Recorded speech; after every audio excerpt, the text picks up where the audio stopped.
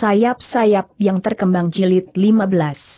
Karena Warsi tidak menyahut, maka Kirangga pun kemudian berkata, Sudahlah. Kita memerlukan waktu untuk berbicara dengan para pemimpin kelompok dan para perwira yang menyatukan diri dengan kita. Berbicaralah dengan mereka, berkata Warsi, beritahukan hasilnya kepadaku. Aku kira aku tidak perlu ikut di dalam pembicaraan itu, karena bagiku, yang penting aku dapat berhadapan dan membunuh perempuan itu. Sedang dukungan suasana sebagaimana yang kau maksudkan kau sajalah yang menyusun bersama para pemimpin kelompok-kelompok yang bergabung bersama kita itu. Tetapi sebaiknya kau harus hadir, meskipun hanya mendengarkannya. Meskipun kau segan mempercayakan setiap keadaan medan kepada orang-orang kita untuk mengambil sikap sendiri, namun ada baiknya kau memberikan pendapatmu, berkata Kirangga. Begitukah kau menilai aku bertanya Warsi, apakah aku tidak pernah memberikan petunjuk-petunjuk kepada orang-orangku di setiap keadaan yang apalagi gawat? Bukan maksudku. Tetapi kau lebih senang berbicara tentang pokok-pokok persoalan, berkata Kirangga. Orang-orang kita adalah orang-orang dewasa yang sudah matang. Apalagi orang-orang yang berhasil aku himpun dari gerombolan Kalamerta. Memang agak berbeda dengan bekas para prajurit mereka terlalu terikat kepada satu paugeran yang kaku. Bahkan di medan perang sekalipun. Mereka memerlukan petunjuk-petunjuk terperinci untuk melakukan tugas mereka, berkata Warsi. Tidak seluruhnya benar, berkata Kirangga, jika para prajurit itu terikat pada satu ketentuan, itu adalah karena mereka bertempur dalam satu gelar tertentu yang satu dengan lainnya saling berkait. Tetapi dalam keadaan yang memaksa, maka setiap orang harus mampu juga mengambil sikap masing-masing tanpa mengesampingkan kepentingan bersama. Kau kira orang-orangku yang aku kumpulkan dari gerombolan Kalamerta tidak berbuat begitu? Nada suara Warsi meninggi. Sudahlah, potong Kirangga, tetapi aku minta kau hadir Warsi termangu-mangu. Namun kemudian katanya, baiklah. Aku akan hadir. Demikianlah, maka sejenak kemudian, maka Kirangga pun telah memanggil para pemimpin dari kelompok-kelompok yang bergabung dengan gerombolannya. Juga para pemimpin kelompok dari beberapa padepokan yang berhasil dipengaruhinya di samping padepokan Kirangga sendiri. Kirangga yang memberikan pengantar pada pertemuan itu telah mengarahkan sikap mereka pada satu pengharapan yang besar dihubungkan dengan kemelut yang terjadi di Pajang kita jadikan tanah perdikan ini landasan utama dari perjuangan yang lebih besar. Menuntut kembali kekuasaan Jepang. Meskipun kita tidak lagi mempunyai seseorang yang berada pada jalur garis keturunan Demak, tetapi jika kita dapat menunjukkan kekuatan kita, maka kita tentu akan berhasil.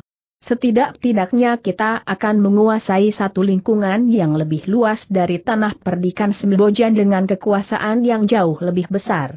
Jika kita mempunyai tempat berpijak, maka kesempatan untuk mengumpulkan kekuatan menjadi semakin besar. Ternyata ada beberapa golongan dengan sikapnya masing-masing. Para pengikut Kalamerta yang berhasil dihimpun adalah orang-orang yang setia kepada pemimpinnya apa pun yang harus mereka lakukan. Sekelompok yang lain sama sekali tidak memikirkan hari-hari yang akan datang.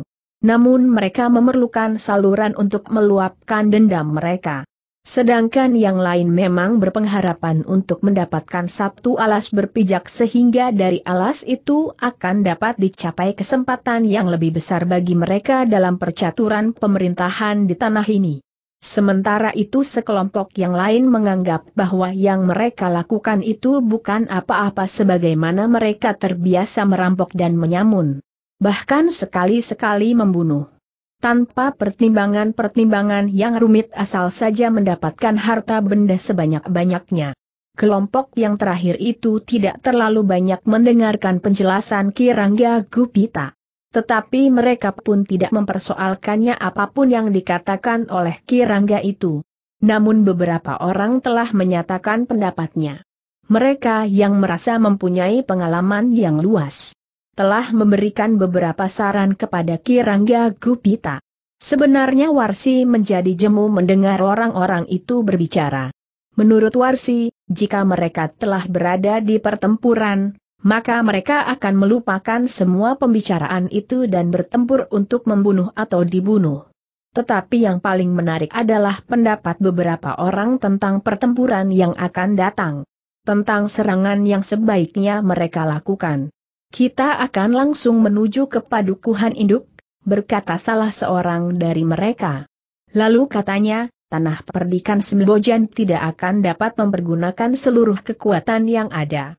Mereka tidak akan dapat mengumpulkan semua pengawal di padukuhan induk, karena setiap padukuhan tentu memerlukan pengawalan. Mungkin sebagian besar para pengawal memang ditempatkan di padukuhan induk. Namun bukan kekuatan setitunya dari tanah perdikan Smojan yang tentu terbagi itu. Kirangga mengangguk-angguk. Pendapat itu sesuai dengan perhitungannya dan bahkan kemudian sebagian besar dari orang-orang yang telah dikumpulkan, meskipun ada di antara mereka yang tidak mempedulikannya. Bahkan ada orang yang berpendapat, apakah kita harus memberikan kesan bahwa kita akan menyerang salah satu padukuhan yang besar sebagaimana kita lakukan kemarin? Dengan demikian maka sebagian pengawal akan ditarik ke padukuhan itu. Tidak akan banyak gunanya. Kecuali kekuatan kita juga terbagi, mereka pun akan menggerakkan pengawal-pengawal mereka dari satu padukuhan ke padukuhan lain, kecuali pengawal-pengawal yang memang direncanakan untuk tetap berada di padukuhan mereka masing-masing, berkata Kirangga. Orang itu mengangguk-angguk. Namun ia tidak memaksakan pendapatnya. Demikianlah, pertemuan itu setelah berbicara banyak, telah menentukan langkah yang paling baik menurut pendapat mereka. Mereka akan langsung menyergap padukuhan induk dari dua arah. Satu kelompok kecil akan memancing perhatian para pengawal dari arah pintu gerbang induk. Sedangkan kekuatan yang terbesar akan datang dari arah lain. Dalam keremangan malam, meskipun cahaya bulan terang, tetapi mereka tidak akan mampu membuat perhitungan yang baik tentang jumlah kekuatan yang sebenarnya dari orang-orang yang menyerang padukuhan induk itu orang-orang padukuhan induk tidak akan sempat mencurigai jumlah yang mereka hadapi di gerbang utama, sehingga sempat memikirkan datangnya serangan dari arah yang lain. Karena itu, kita harus berusaha untuk mengaburkan jumlah kita. Terutama pasukan yang memancing perhatian para pengawal di padukuhan induk itu. Dengan gerakan-gerakan yang bersimpang siur, maka jumlah itu akan nampak lebih besar, berkata Kirangga. Lalu, dengan demikian maka para pemimpin tanah perdikan itu akan terpancing untuk bertahan di pintu gerbang utama itu. Sementara pasukan kita yang lain akan merayap dengan hati-hati mendekati dinding di arah lain. Sebenarnya kita salah memilih waktu, tiba-tiba saja seseorang berkata, sebaiknya kita memilih di saat malam paling gelap. Bodoh kau, Warsi yang lebih banyak diam itu telah membentak, Kau kira aku tidak mempunyai perhitungan dengan bulan-bulat itu. Orang itu mengerutkan keningnya. Namun kawannya yang ada di sampingnya berdesis, sinar bulan itu sangat penting baginya. Orang itu tidak menyahut, meskipun ia merasa agak tersinggung. Namun orang itu pun menyadari, bahwa Warsi adalah seorang perempuan yang garang dan memiliki ilmu yang sangat tinggi. Akhirnya pertemuan itu pun berakhir. Semua orang memahami apa yang harus mereka lakukan. Sebagai pemimpin dari kelompok mereka masing-masing, maka mereka telah menyampaikan keputusan dari pertemuan itu kepada kelompok mereka. Terperinci dan jelas bagi setiap orang. Namun orang-orang yang tidak begitu mempedulikan tata cara dalam setiap pertempuran memang tidak mau berpikir terlalu banyak. Mereka hanya memberikan sekedar petunjuk kepada orang-orangnya dan memberitahukan di pasukan yang mana mereka ditempatkan. Kita akan menyerang padukuhan induk itu, berkata pemimpin mereka yang tidak mau terlalu banyak berpikir, kita berada di pasukan kedua yang akan menyerang padukuhan induk itu dari arah lain. Bukan dari arah pintu gerbang utama. Hal-hal lain, tirukan saja orang-orang yang berpikiran rumit. Pokoknya kita menyerang, memasuki padukuhan induk dan mendapatkan harta rampasan. Jika harta rampasan itu harus dikumpulkan, maka kalian harus pandai menyembunyikan sebagian terbesar daripadanya untuk kepentingan kelompok kita, sehingga kita tidak sekedar menjadi alat mereka. Kawan-kawannya mengangguk-angguk. Mereka pun orang-orang yang segan berpikir terlalu banyak. Di kelompok lain, seorang pemimpin kelompok tengah memberikan penjelasan kepada orang-orangnya. Dengan hati-hati, jelas dan terperinci pemimpin kelompok itu menunjukkan kepada orang-orangnya apa yang harus mereka lakukan. Kita termasuk kelompok yang pertama. Kelompok yang tidak sebesar kelompok yang kedua.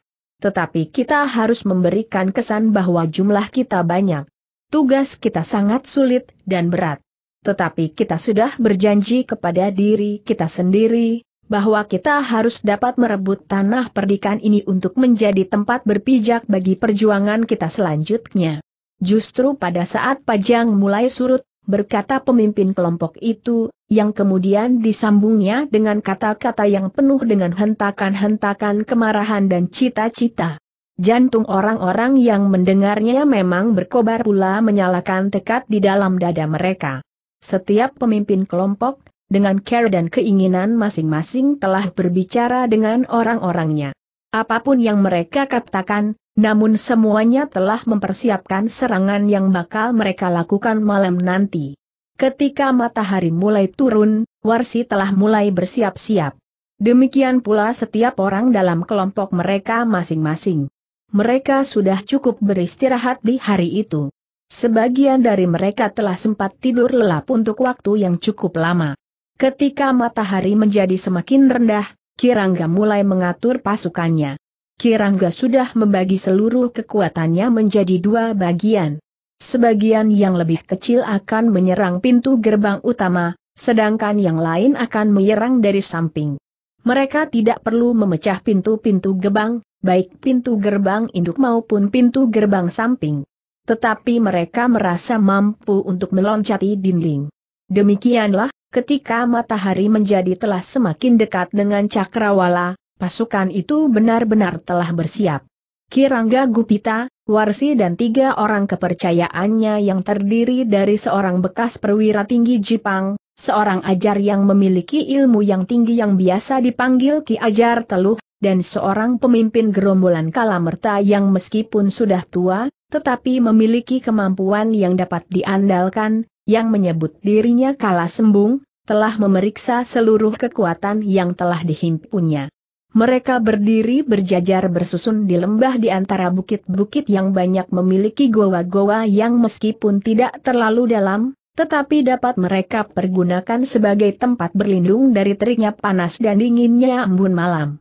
Dengan bangga Warsi dan Kirangga melihat wajah-wajah yang garang. Sementara itu, pada mereka masing-masing nampaknya telah tersedia bekal sehingga dalam pertempuran mereka tidak akan kelaparan meskipun mereka akan bertempur semalam suntuk, bahkan sampai besok sehari penuh. Bahkan pasukan itu akan didukung oleh sekelompok kecil orang-orang yang khusus membawa bekal bagi mereka yang akan bertempur. Orang-orang itu jika didesak oleh keadaan, akan mampu pula bergabung dengan kawan-kawan mereka di peperangan. Bukan saja sekedar menyiapkan makan dan keperluan-keperluan lain jika terjadi bencana pada pasukannya. Orang-orang yang ada di balik bukit itu sama sekali tidak mempergunakan pertanda-pertanda apa pun juga. Mereka tidak membawa panji-panji, umbul-umbul atau apa pun yang sejenis yang memberikan ciri kepada pasukan itu mereka sama sekali tidak memerlukannya. Namun mereka telah memberikan pertanda itu justru sebelumnya. Warsi dan Kirangga telah memasang topeng-topeng kecil di pintu gerbang utama padukuhan induk. Ciri-ciri yang bagi Warsi mempunyai arti yang lebih besar daripada rontek, panji-panji dan umbul-umbul. Sejenak kemudian, maka langit pun menjadi kemerah-merahan. Cahaya matahari yang mulai redup justru bagaikan membakar langit. Cakrawala telah membara dan ujung-ujung mega pun menjadi merah. Kita siap untuk berangkat, berkata Warsi kepada Kirangga.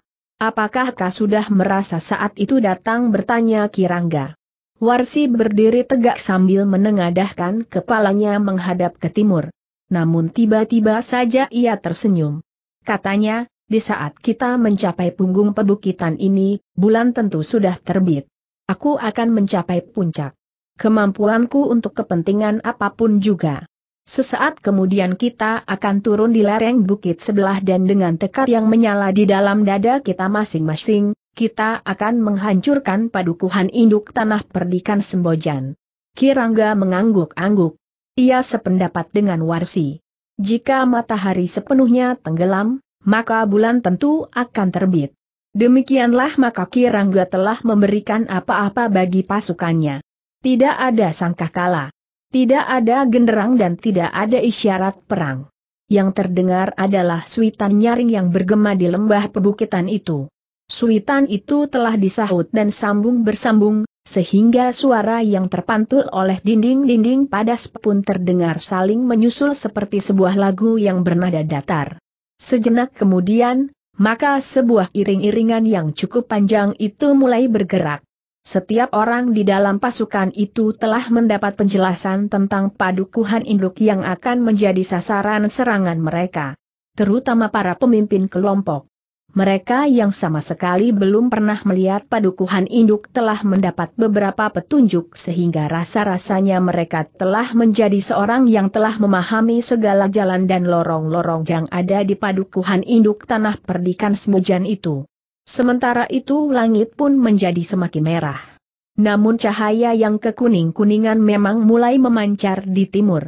Demikian matahari tenggelam, maka mereka pun mulai melihat bulan memanjat langit. Warsi tertawa pendek di sebelah Kirangga yang berjalan di ujung pasukannya. Katanya, kau lihat? Lambang kemenangan itu telah mulai hadir di atas tanah perdikan Sembojan yang sebentar lagi akan jatuh ke tanganku. Kirangga mengangguk-angguk. Tetapi sebenarnya lah Kirangga lebih percaya kepada pasukannya yang nampak begitu perkasa. Di lorong-lorong sempit, di lereng bukit, Iring-iringan itu bagaikan seekor ular raksasa yang menjalar merambat naik ke punggung bukit itu. Tetapi Kirangga tidak mau mengecewakan Warsi. Kirangga pun tahu bahwa kepercayaan yang tebal di dalam dada Warsi atas pengaruh cahaya bulan itu, memang akan dapat benar-benar mempengaruhinya. Terutama pada segi kejiwaan perempuan yang garang itu. Sedangkan sebagai seorang perwira yang juga pernah bertugas dalam pasukan Sandi, Kirangga tahu benar arti pengaruh kejiwaan bagi seorang prajurit. Karena pengaruh kejiwaan pula maka seorang prajurit akan kalah sebelum bertempur. Namun seorang prajurit akan dapat menjadi seekor harimau lapar di medan perang yang ganas. Sebenarnya lah seperti yang diperhitungkan oleh Warsi. Bahkan sebelum ia sampai ke puncak pebukitan itu, bulan telah menerangi lereng-lerengnya dengan cahayanya yang telah menghangatkan darah Warsi. Beberapa saat kemudian, ujung pasukan itu telah sampai ke atas bukit kecil itu. Warsi dan Kirangga memberi isyarat kepada pasukannya untuk berhenti. Dari punggung bukit itu, Warsi telah memandang ngarai yang terbentang. Di bawah terang sinar bulan, padukuhan-padukuhan yang kehitam-hitaman nampak seperti pulau-pulau kecil yang terapung di lautan yang hijau. Sekali lagi Warsi tertawa melihat tanah perdikan semojan yang terbentang di hadapannya. Marilah, berkata Warsi kemudian. Kirangga berpaling kepada tiga orang kepercayaannya sambil berkata, demikian kita menuruni bukit, maka kita sudah memasuki lingkungan medan. Kita harus mulai berhati-hati kedua bagian pasukan kita tidak boleh salah memilih jalan ke padukuhan induk sebagaimana sudah kita tentukan. Ketiga orang kepercayaan Kirangga itu mengangguk-angguk. Merekalah yang harus memimpin langsung semua gerakan dari pasukan itu. Ki Ajar Tulaklah yang mendapat tugas untuk memimpin pasukan yang harus memancing perhatian lawan dan menyerang pintu gerbang utama. Sementara itu, bekas perwira tinggi Jepang yang sehari-hari disebut Ki Sumbaga dan Ki Kalasembung akan memimpin pasukan yang benar-benar dipersiapkan untuk memasuki padukuhan induk tanah perdikan. Baru kemudian setelah keadaan memungkinkan, Ki Sumbaga pun harus membawa pasukannya masuk ke padukuhan dan membantu pasukan yang telah berada di dalam. Nah, berkata Ki Rangga, pergilah ke pasukan kalian masing-masing. Di bulak itu kita akan membagi pasukan. kalian akan menempuh jalan kalian masing-masing. Jangan salah memilih jalan. Beri isyarat jika rencana tidak berjalan sebagaimana seharusnya. Kami berdua akan berada di pasukan kedua. Kami harus dengan cepat memasuki padukuhan induk, agar kami dapat segera menemui para pemimpin mereka. Ketiga orang itu mengangguk hormat. Sementara itu Kirangga berkata pula, siapkan dengan baik kelompok. Kelompok yang akan berhadapan dengan orang-orang tua di tanah perdikan Sembojan, namun yang berilmu cukup tinggi. Lima kelompok harus mampu mengikat lima orang lawan yang berilmu tinggi itu. Mungkin kelima orang itu tidak berada di tempat yang sama, sehingga dengan demikian maka setiap orang wajib memberikan laporan, di mana mereka berada sehingga kelompok-kelompok yang dipersiapkan itu akan segera dapat menghadapi mereka. Sementara itu, Warsi akan langsung berusaha bertemu dengan Iswari. Demikianlah, maka ketiga orang itu pun telah bergeser surut. Mereka telah menuju ke pasukan masing-masing. Satu kelompok dari pasukan itu dipimpin oleh Ki Ajar Tulak akan berusaha memancing perhatian padukuhan induk di pintu gerbang utama, sementara Ki Kalasmiung dan Ki Sumbaga akan memasuki padukuhan induk dari arah lain bersama dengan Warsi dan Kirangga. Jika padukuhan induk itu telah menjadi kacau dan kehilangan ketahanannya maka pasukan yang dipimpin Ki Ajar harus dengan cepat berusaha memasuki padukuhan induk pula. Mereka harus menuju ke Banjar, sementara pasukan yang lain akan menguasai rumah kepala tanah perdikan. Perintah yang diberikan oleh Warsi dan Kirangga kepada setiap orang adalah bahwa mereka harus segera membunuh jika mereka bertemu dengan seorang remaja yang bernama Risang, anak Iswari. Siapa pun juga. Ketika semuanya sudah berada di tempat masing-masing, maka Kirangga pun telah memberikan isyarat agar pasukan itu segera berangkat. Di lereng bukit di saat pasukan itu bergerak menurun, maka beberapa orang masih nampak berjaga-jaga untuk mengawasi keadaan. Bagaimanapun juga mereka masih juga memperhitungkan kemungkinan orang-orang tanah perdikan berusaha mendaki bukit itu dan menyerang mereka di sorangnya. Kehadiran orang-orang tanah perdikan yang kemudian membunuh beberapa orang di antara mereka dengan anak panah, telah membuat mereka semakin berhati-hati. Namun ketika iring-iringan yang memanjang itu lewat, maka orang-orang itu telah mendapat perintah untuk masuk ke dalam pasukan dan berada di dalam kelompok mereka masing-masing. Karena itu, maka orang-orang itu pun segera mencari hubungan dengan para pemimpin kelompok mereka, untuk ikut bergerak turun menuju ke lembah. Selanjutnya mereka dengan cepat akan bergerak ke padukuhan induk. Namun ketika ujung pasukan itu telah melewati lambung pebukitan, Warsi dan Kirangga yang berjalan di paling depan terkejut. Mereka melihat sebuah patok bambu yang berdiri di tengah-tengah jalan sempit yang dilewati oleh iring-iringan pasukannya itu. Gila, Warsi mengumpat. Pada patok bambu itu terdapat topeng kecil menghadap ke punggung bukit sebagaimana yang sering dipergunakannya untuk memberikan pertanda atau peringatan bagi pihak lain. Pertanda yang biasanya dihubungkan dengan kematian dan kekerasan.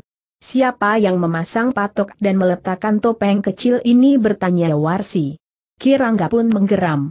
Sambil menggeleng ia menjawab, aku tidak tahu.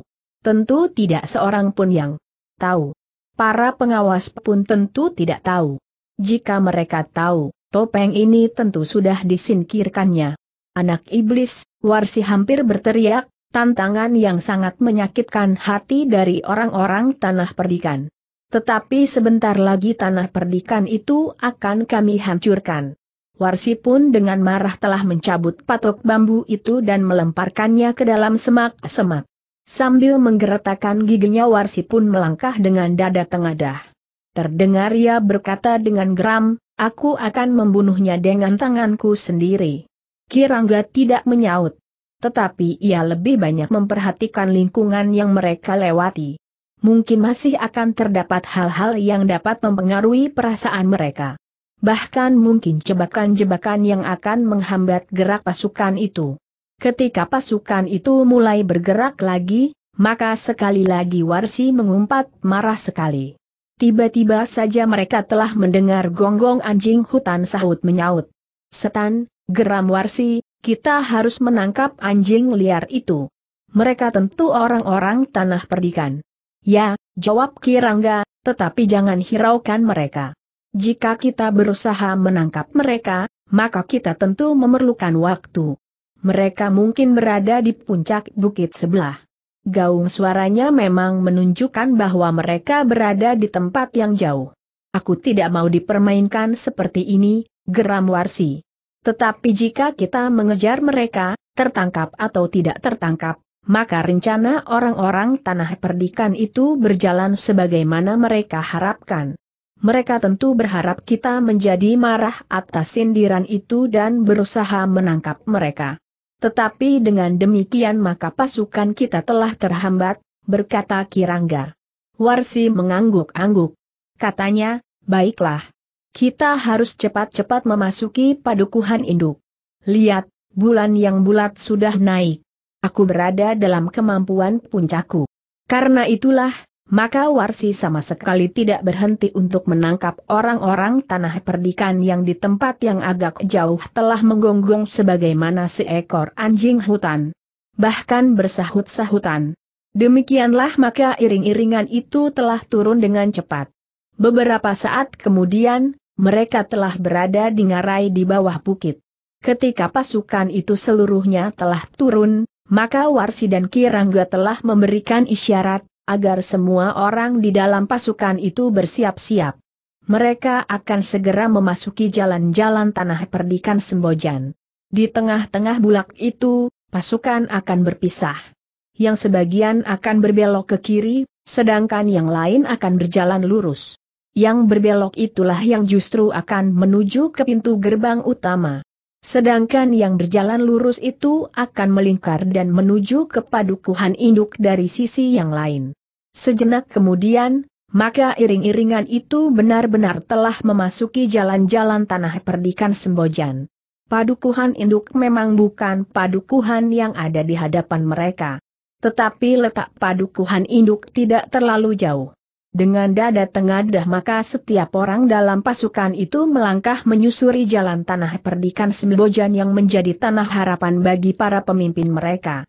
Dengan jantung yang berdebar-debar mereka bertekad untuk malam itu juga menguasai padukuhan induk dan kemudian di hari berikutnya seluruh tanah perdikan.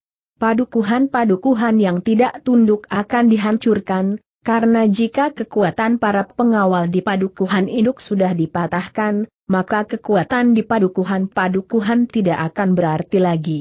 Ketika kemudian terdengar lagi suara anjing hutan menggonggong dari lereng bukit, yang suaranya bergema oleh pantulan batu-batu padas, maka Warsi dan Kirangga Gupita sudah tidak menghiraukannya lagi. Mereka mengira bahwa orang-orang tanah perdikan bukan saja sedang mempengaruhi perasaan para pengikutnya, tetapi dengan care itu mereka telah memberikan isyarat sambung bersambung, bahwa pasukan dari balik bukit telah menyerang. Tetapi Warsi dan Kirangga Gupita sama sekali tidak berkeberatan. Mereka memang telah memberi pertanda bahwa hari itu, di saat purnama penuh, padukuhan induk akan diserang dan dihancurkan. Bagaimanapun juga, orang-orang tanah perdikan tidak akan dapat mengumpulkan dan memusatkan semua kekuatan tanah perdikannya di padukuhan induknya, karena sebagian dari mereka masih harus tetap berada di padukuhan masing-masing. Demikianlah maka pasukan dari balik bukit itu pun kemudian menjalar di bulak-bulak persawahan. Mereka menyusuri jalan-jalan yang membujur di antara tanaman padi di sawah. Namun Warsi dan Kirangga pun terkejut ketika mereka melihat lagi patok bambu di tengah jalan digantungi oleh topeng kecil pertanda kematian. Topeng yang mereka pasang di depan pintu gerbang padukuhan induk tanah perdikan. Gila, geram Warsi. Dengan sangat marah ia mencabut patok bambu itu dan melemparkannya ke tepi sekaligus dengan topengnya. Tetapi ternyata bahwa iring-iringan pasukannya sama sekali tidak berhenti. Tetapi kemarahan Warsi bagaikan membakar ubun-ubunnya ketika mereka sampai di sebuah simpang empat kecil di tengah bulak itu, sekali lagi mereka menjumpai patok bambu dengan topeng kecil itu pula. Namun ketika Warsi menghentakkan patok kecil itu sambil mengumpat-umpat, maka Kirangga pun mendekatinya sambil berkata, kita berhenti di sini. Kenapa bertanya Waisi? Kirangga tidak menjawab ketika ia memberikan isyarat kepada pasukannya untuk berhenti. Ada apa bertanya Warsi pula? Kita sudah hampir sampai di tempat pasukan kita akan berpencar. Orang-orang tanah perdikan memang iblis. Pertanda topeng kecil itu sudah genap tiga kali. Kita harus berhati-hati, desis Kirangga. Tetapi bukankah kita yang menentukan isyarat itu? Bukan mereka bertanya Warsi. Itulah gilanya orang-orang tanah perdikan, jawab Kirangga Gupita. Warsi mengerutkan keningnya. Ia masih belum begitu jelas apakah yang dimaksud oleh Kirangga Gupita itu, sehingga ia pun kemudian bertanya, apakah sebenarnya yang terjadi? Kirangga memandang bulak yang luas itu. Dengan nada rendah ia berkata, kita harus berhati-hati. Warsi masih saja termangu-mangu. Sementara itu Kirangga telah memanggil seorang yang berada di antara dirinya dan pasukannya. Seorang yang memang bertugas sebagai penghubung. Panggil Kisumbaga, berkata Kirangga. Untuk apa bertanya Warsi? Ia mempunyai naluri keprajuritan yang sangat tajam, jawab Kirangga Gupita. Bulan sudah semakin tinggi, berkata Warsi, aku ingin mempergunakan kesempatan ini sebaik-baiknya. Jangan tergesa-gesa. Yang kita hadapi adalah iblis yang sangat licik, jawab Kirangga. Sejenak kemudian Kisumbaga pun telah mendekat. Dengan sungguh-sungguh Kirangga Gupita bertanya, bagaimana pendapatmu? Kita harus berhati-hati. Kita tidak akan bertempur di padukuhan induk, berkata Ki Sumbaga. Apa katamu bertanya Warsi? Bersiaplah. Perhitungan mereka ternyata lebih rumit dari perhitungan yang kita buat, jawab Ki Sumbaga, selama ini kita menganggap bahwa mereka adalah orang-orang yang hanya mempercayakan diri kepada kemampuan olah kanuragan. Namun ternyata mereka mempunyai pemikir-pemikir yang sangat baik, jawab Ki Sumbaga. Persetan, geram warsi, kita hancurkan padukuhan induk itu. Kita tidak akan sampai ke sana dengan cepat, berkata Ki Sumbaga. Kenapa? Jangan berteka-teki, warsi menjadi tidak sabar lagi. Katakan apa yang kalian ketahui. Ki Sumbaga memandang Ki Rangga Gupita dengan wajah yang tegang, Sementara Ki Ajar Tulak dan Kala Sembung pun telah mendekat pula sambil bertanya, kenapa kita berhenti di sini? Lihat, berkata Ki Rangga Gupita, setelah orang-orang tanah perdikan memberikan peringatan kepada kita dengan pertanda milik kita sendiri sampai tiga kali. Atur pasukan kalian dan menebarlah sebelum terlambat. Apa yang terjadi? Warsi hampir berteriak. Mereka telah menunggu kita di bulak ini, geram Ki. Rangga Gupita. Siapa teriak Warsi? Orang-orang tanah perdikan Sembojan, jawab Ki Rangga sambil memberikan isyarat kepada ketiga orang kepercayaannya. Kita bertempur di sini. Warsi pun akhirnya mengetahui maksud Ki Rangga dan Ki Sumbaga. Karena itu, maka justru ialah yang mengumpat paling kasar. Sementara Ki Rangga berkata, kita tidak akan memecah pasukan kita. Ki Sumbaga akan berada di tengah. Ki Ajar akan berada di sayap kiri dan Ki Kalasembung akan berada di sayap kanan. Usahakan menilai gelar lawan agar kita mendapatkan cara yang sebaik-baiknya untuk melawan. Ketiga orang itu mengangguk-angguk. Tetapi hanya Ki Sumbaga sajalah yang memahami dengan baik arti sebuah gelar. Ki Ajar Tulak terlalu yakin akan kemampuannya, Sementara Kala Sembung tidak merasa perlu untuk memikirkan sebuah gelar. Tetapi ketiga orang itu pun dengan cepat telah kembali ke pasukan masing-masing. Seperti yang diperintahkan oleh Kirangga Gupita, maka pasukan yang semula berjalan beriringan itu telah menebar. Ki Ajar Tulak berada di sisi sebelah kiri, sementara Kala Sembung membawa pasukannya ke sebelah kanan. Sedangkan Ki Sumbaga dan orang-orangnya berada di tengah. Dalam keadaan yang gelisah itu, Ki Sumbaga masih sempat memberi peringatan kepada orang-orangnya, agar kelompok-kelompok yang dipersiapkan untuk melawan orang-orang yang disegani di tanah perdikan tetap utuh. Di sisi kiri, Ki Ajar memang mencoba untuk mengatur orang-orangnya. Mereka menebar tanpa menghiraukan tanaman padi di sawah yang hijau subur. Tanaman itu telah terinjak-injak oleh kaki orang-orang yang bersiap dengan senjata. Tetapi Ki Ajar memang tidak pernah mempelajari dengan sungguh-sungguh arti sebuah gelar meskipun secara sepintas diketahuinya pula. Kita berada di sayap sebelah kiri, berkata Ki Ajar kepada para pemimpin kelompoknya, kita harus menyesuaikan diri dengan lawan. Mungkin mereka bertempur dalam gelar yang mapan. Tetapi kita tidak perlu gentar.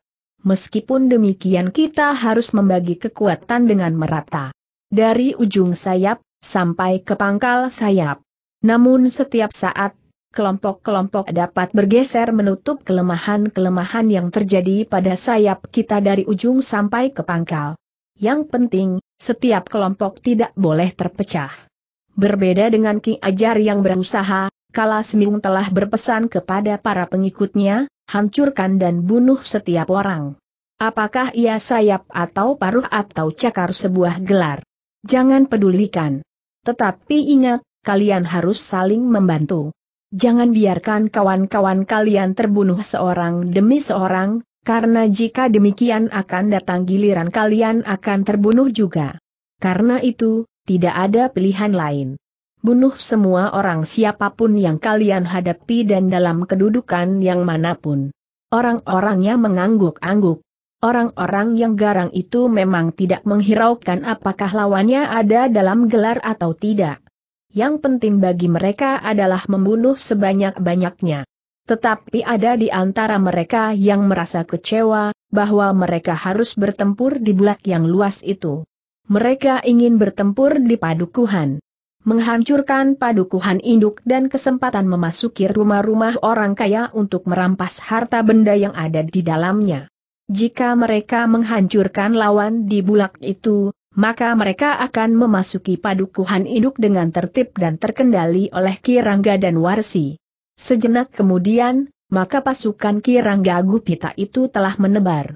Mereka telah bersiap menghadapi segala kemungkinan. Dalam pada itu, Sebenarnya lah bahwa pasukan Tanah Perdikan telah menunggu. Betapapun beratnya hati mereka, namun mereka memang harus mengorbankan tanaman di sawah. Pasukan Tanah Perdikan Sembojan ternyata tidak menunggu di padukuhan induk. Para pemimpin Tanah Perdikan Sembojan telah memperhitungkan bahwa mereka lebih baik menghadapi lawan di bawah bukit daripada harus menunggu di padukuhan induk. Di bawah bukit mereka memang harus mengorbankan tanaman mereka.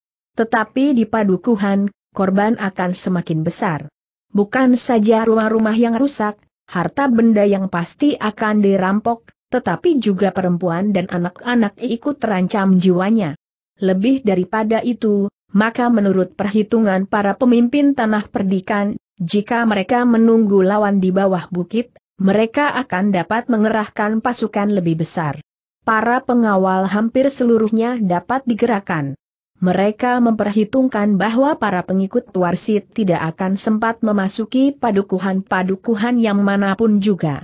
Karena itu, maka Iswari telah membawa kekuatan yang ada di tanah perdikan hampir sepenuhnya ke bawah bukit. Dengan sangat hati-hati orang-orang tanah perdikan itu bergerak. Menjelang senja semua kekuatan sedikit demi sedikit telah mengalir ke padukuhan terdekat. Kemudian di saat matahari terbenam dan bulan mulai naik, pasukan itu bagaikan merangkak memasuki bulak-bulak yang luas. Dengan perhitungan yang cermat, maka para pengawas di lereng bukit memang tidak dapat melihat apa yang terjadi di balik batang padi yang mulai meninggi. Sehingga pada saatnya, pasukan Tanah Perdikan telah menunggu menebar dalam gelar yang mapan. Gelar Wulan Tumanggal. Karena menurut perhitungan para pemimpin dari Tanah Perdikan Sembojan, kekuatan lawan akan berada di induk pasukan, sehingga sayap-sayap pasukannya tentu tidak akan terlalu kuat. Karena itu, maka gelar yang dipergunakan pun adalah gelar yang meletakkan kekuatan terbesar di induk pasukan. Sambi Wulung dan Jati Wulung memang merasa ragu-ragu untuk ikut langsung memasuki arna. Mereka masih selalu memikirkan kemungkinan bahwa Puguh atau orang-orang yang pernah melihatnya di padepokan itu, ikut pula dalam pasukan yang siap menyerang tanah perdikan itu. Namun akhirnya keduanya mempunyai cara untuk berada di antara para pengawal. Mereka telah membagi diri. Seorang berada di sayap kiri dan seorang yang lain di sayap kanan mereka telah memberikan kelainan di wajah mereka masing-masing, sehingga mereka tidak akan mudah dikenal. Sementara itu mereka pun telah mengenakan pakaian yang tidak terbiasa mereka pakai. Jika ada seorang saja yang mengenaliku, maka usahaku untuk menemukan tempat tinggal puguh itu akan kehilangan artinya, berkata Sambi Wulung. Tetapi dengan caranya mereka berharap bahwa mereka tidak akan dapat dikenali lagi. Di induk pasukan, Iswari duduk di pematang bersama Kiai Badra, Kiai dan Nyai Soka. Beberapa langkah daripadanya adalah pemimpin pengawal tanah perdikan yang duduk bersama dua orang pembantunya. Ketika terdengar pertanda terakhir sebagaimana mereka sepakati dengan suara gonggong anjing hutan, maka Iswari pun menarik nafas dalam-dalam. Desisnya, mereka telah datang. Ya, berkata Kiai Badra, mereka telah datang. Siapkan pasukanmu. Kita harus menghentikan mereka di sini. Jika mereka berhasil mencapai padukuhan induk, maka keadaan kita akan sulit. Bahkan seandainya kita berhasil mengusir mereka, namun mereka tentu akan merusak dan barangkali membakar rumah-rumah penduduk yang tidak bersalah serta mengganggu perempuan dan anak-anak. Bahkan mungkin membunuh. Marilah. Kita bersiap-siap, desis Iswari. Iswari tidak menunggu lagi. Ia pun kemudian telah bangkit berdiri bersamaan dengan isyarat yang berbunyi.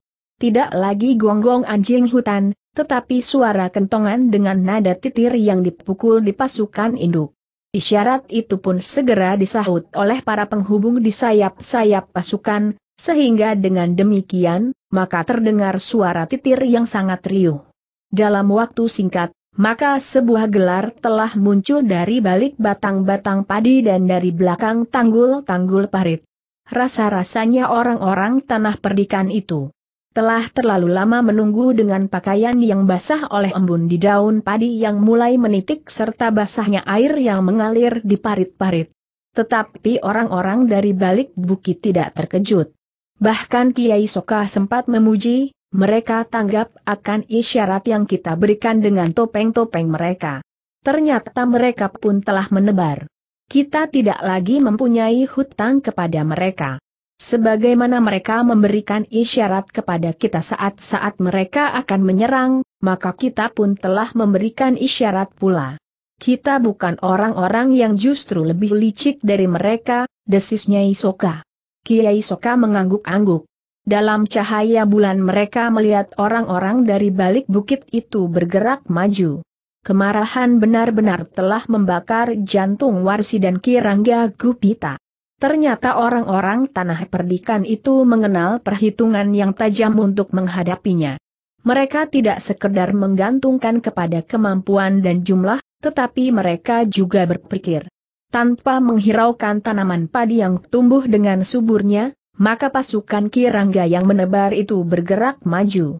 Mereka tidak memperhatikan lagi apakah mereka akan berjalan di atas pematang. Tetapi batang-batang padi yang subur itu telah terinjak-injak kaki orang-orang yang akan bertempur untuk mengungkapkan permusuhan yang sudah mencengkam seluruh isi dada. Bahkan bukan saja dendam yang menyala, tetapi juga ketamakan dan nafsu untuk menguasai tanah perdikan itu. Sementara itu, orang-orang tanah perdikan pun sudah siap pula. Agak berbeda dengan orang-orang dari balik bukit. Orang-orang tanah perdikan memang merasa agak ragu-ragu untuk menginjak batang-batang padi yang sudah menjadi semakin besar dan hampir menjadi bunting itu. Tetapi mereka pun tidak mempunyai pilihan lain mereka memang harus dan terpaksa menginjak-injak tanaman itu justru untuk mempertahankan tanah mereka, agar mereka di hari kemudian dapat menanam padi lagi tanpa mengalami pemerasan atas hasil panenannya. Demikianlah kedua pasukan itu semakin lama menjadi semakin dekat.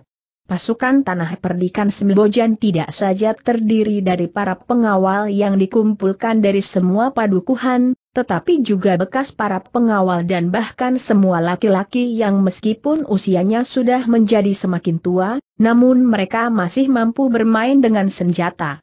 Hanya sebagian kecil saja di antara mereka yang ditinggalkan di setiap padukuhan sekedar untuk mengamati keadaan dan membunyikan isyarat jika keadaan memaksa, sehingga bantuan dari padukuhan-padukuhan terdekat akan berdatangan.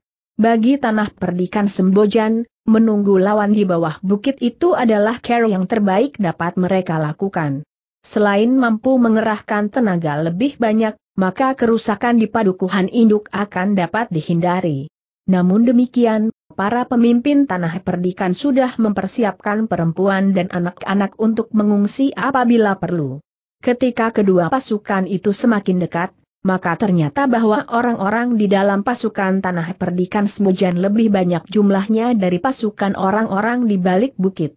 Namun mereka pun menyadari bahwa orang-orang dari balik bukit itu adalah gabungan dari orang-orang yang kecewa, penuh kebencian dan dendam serta dibekali dengan pengalaman yang sangat luas tanpa merasa bertanggung jawab atas segala tingkah lakunya di hari-hari yang abadi.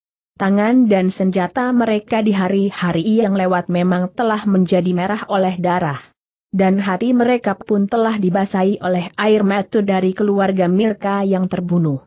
Namun mereka tidak pernah merasa kulitnya meremang. Namun dalam pada itu, para pengawal, anak-anak muda dan semua laki-laki yang berada di dalam pasukan tanah perdikan telah meyakini apa yang mereka lakukan. Mereka memang tidak mempunyai pilihan lain, sehingga dengan demikian, maka mereka sama sekali tidak merasa gentar atas apa yang mereka hadapi. Namun mereka tidak ingin menyerahkan kampung halaman mereka ke tangan-tangan orang yang tidak berhak. Ketika kedua pasukan itu menjadi semakin dekat, maka terdengar suita nyaring. Kirangga telah memberikan isyarat kepada orang-orangnya untuk bersiaga sepenuhnya. Kedua pasukan itu akan segera bertemu dan bertempur. Beberapa orang di dalam pasukan Kirangga itu justru tertawa. Mereka melihat orang-orang tanah perdikan itu bagaikan melihat batang ilalang. Senjata yang mencuat di atas kepala mereka, dalam cahaya bulan nampak bagaikan gelagah ilalang yang mekar keputih-putihan.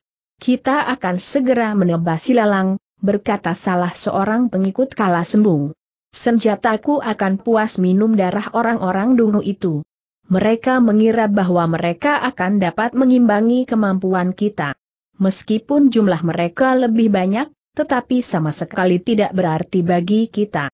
Semakin banyak mereka turun ke arna, maka semakin menarik bagi kita, sahut yang lain. Tetapi pemimpin kelompoknya yang mendengar menyahut, jangan lengah. Mereka adalah pengawal-pengawal yang terlatih. Namun yang terdengar adalah suara tertawa berkepanjangan. Sementara itu, para pemimpin dari kedua pasukan memang berada di induk pasukan. Kecuali di pasukan Tanah Perdikan, Sambi Wulung dan Jati Wulung berada di ujung sayap kiri dan kanan. Mereka bukan saja memimpin kedua sayap itu, tetapi mereka harus merintis keduanya juga mendapat tugas untuk mengawasi sayap-sayap lawan, agar tidak dengan licik meninggalkan Arna dan menyerang padukuhan-padukuhan terdekat untuk sekedar menumpahkan kemarahan dan dendam. Meskipun padukuhan-padukuhan terdekat sudah dikosongkan karena perempuan dan anak-anak sudah disingkirkan ke padukuhan-padukuhan lain. Warsi rasa-rasanya sudah tidak sabar lagi. Ia yakin bahwa Iswari berada di antara para pemimpin tanah perdikan itu sehingga rasa-rasanya ia ingin segera meloncat menerkamnya. Namun dalam kegelisahan itu ia menggeram, apakah iblis betina itu berani keluar dan turun di arna ini? Ia tentu akan datang, sahut Kirangga. Aku kira perempuan cantik itu hanya dapat menunggu. Tetapi ternyata ia mempunyai keberanian juga untuk keluar dari sarangnya, berkata Warsi sambil menengadahkan kepalanya. Seakan-akan ia sedang mencari perempuan yang disebut-sebutnya itu di antara seleret pasukan yang bergerak maju itu. Di pihak lain, Iswari pun telah bersiap sepenuhnya untuk menghadapi segala kemungkinan. Ia telah berada pada tataran tertinggi dari ilmu yang dikuasainya. Sementara itu, ternyata Bibi telah berhasil membantunya, membuka simpul-simpul syarafnya yang masih tertutup sehingga dengan demikian, maka tingkat ilmunya seakan-akan menjadi semakin tinggi. Tubuhnya menjadi semakin mudah dikuasainya dan kehendaknya pun telah menyatu dengan setiap unsur pada tubuhnya itu. Di sebelah menyebelah gurunya selalu mendampinginya apalagi dalam keadaan yang keras dan gawat.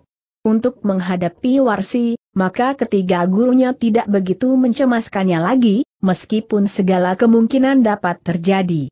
Warsi pun tentu sudah berusaha meningkatkan ilmunya pula untuk menghadapi Iswari pada hari yang telah ditunggunya itu. Namun Iswari pun telah bersiap. Tetapi jika di samping Warsi ada Kirandu Keling dan barangkali satu dua orang kawannya, maka orang-orang tua itu memang diperlukan. Ketika kedua pasukan itu menjadi semakin dekat, maka para pemimpin dari kedua belah pihak pun telah memberikan pertanda. Sambi Wulung dan Jati Wulung yang berada di ujung sayap, sekaligus memimpin sayap-sayap itu telah memberikan isyarat pula kepada para pengawal. Sementara itu, pemimpin pasukan pengawal yang memimpin induk pasukan telah memberikan pertanda pula bukan saja kepada para pengawal di induk pasukan, tetapi juga yang berada di sayap dengan bunyi kentongan. Demikianlah, maka senjata pun telah mulai merunduk. Orang-orang tanah perdikan yang pernah mendapat tuntunan perang dalam gelar telah menyesuaikan dirinya dengan gelar yang mapan. Namun jika keadaan memaksa, maka mereka pun telah berlatih untuk bertempur secara pribadi. Seperti yang diperintahkan, maka orang-orang tanah perdikan itu tidak menunggu. Tetapi sebelum lawannya mendahului, maka dengan irama tertentu, pemimpin pengawal itu telah memerintahkan pasukannya menyerang. Dengan cepat pasukan tanah perdikan itu telah bergerak maju. Ujung sayap pasukan tanah perdikan yang mempergunakan gelar wulan tumanggal itu terdiri dari para pengawal terpilih meskipun jumlah mereka tidak terlalu banyak di bawah pimpinan Saribi Wulung dan Jati Wulung di sebelah menyebelah maka ujung sayap pasukan itu harus berusaha secepat-cepatnya menusuk ke sayap lawan. Sementara itu, di induk pasukan, orang-orang terpilih memang berada di paling depan. Sedangkan bekas penual yang telah menjadi semakin tua, namun masih memiliki kekuatan dan kemampuan yang memadai akan berada di lapisan berikutnya. Mereka adalah orang-orang yang berpengalaman meskipun kekuatannya tidak lagi sedahsyat di usia mudanya. Sedangkan di lapisan berikutnya adalah anak-anak muda tanah perdikan yang meskipun bukan pengawal yang terpilih, tetapi mereka pun telah mendapat tuntunan olah kanuragan cukup memadai. Namun di antara mereka terdapat juga justru orang-orang terpilih, karena hanya orang-orang berilmu sajalah yang akan dapat menyusup lapisan-lapisan sebelumnya hingga sampai lapisan anak-anak muda itu. Dengan susunan yang telah diperhitungkan dengan masak oleh para pemimpin tanah perdikan itu, maka pasukannya dalam gelar Wulan Tumanggal telah bergerak dengan cepat menyerang pasukan lawan yang menebar meskipun tidak berwujud gelar. Namun dalam pada itu, para pemimpin dari pasukan yang datang dari balik bukit itu pun telah pula maju dengan cepat.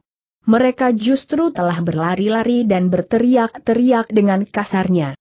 Bahkan ada yang mengumpat-umpat dengan kata-kata kotor dan tidak pantas diucapkan oleh mulut seseorang yang mengenal sedikit tunggah unggu.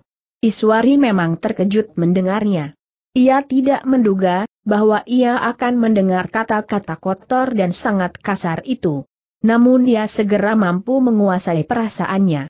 Apalagi ketika ia melihat ujung senjata di kilatan cahaya bulan.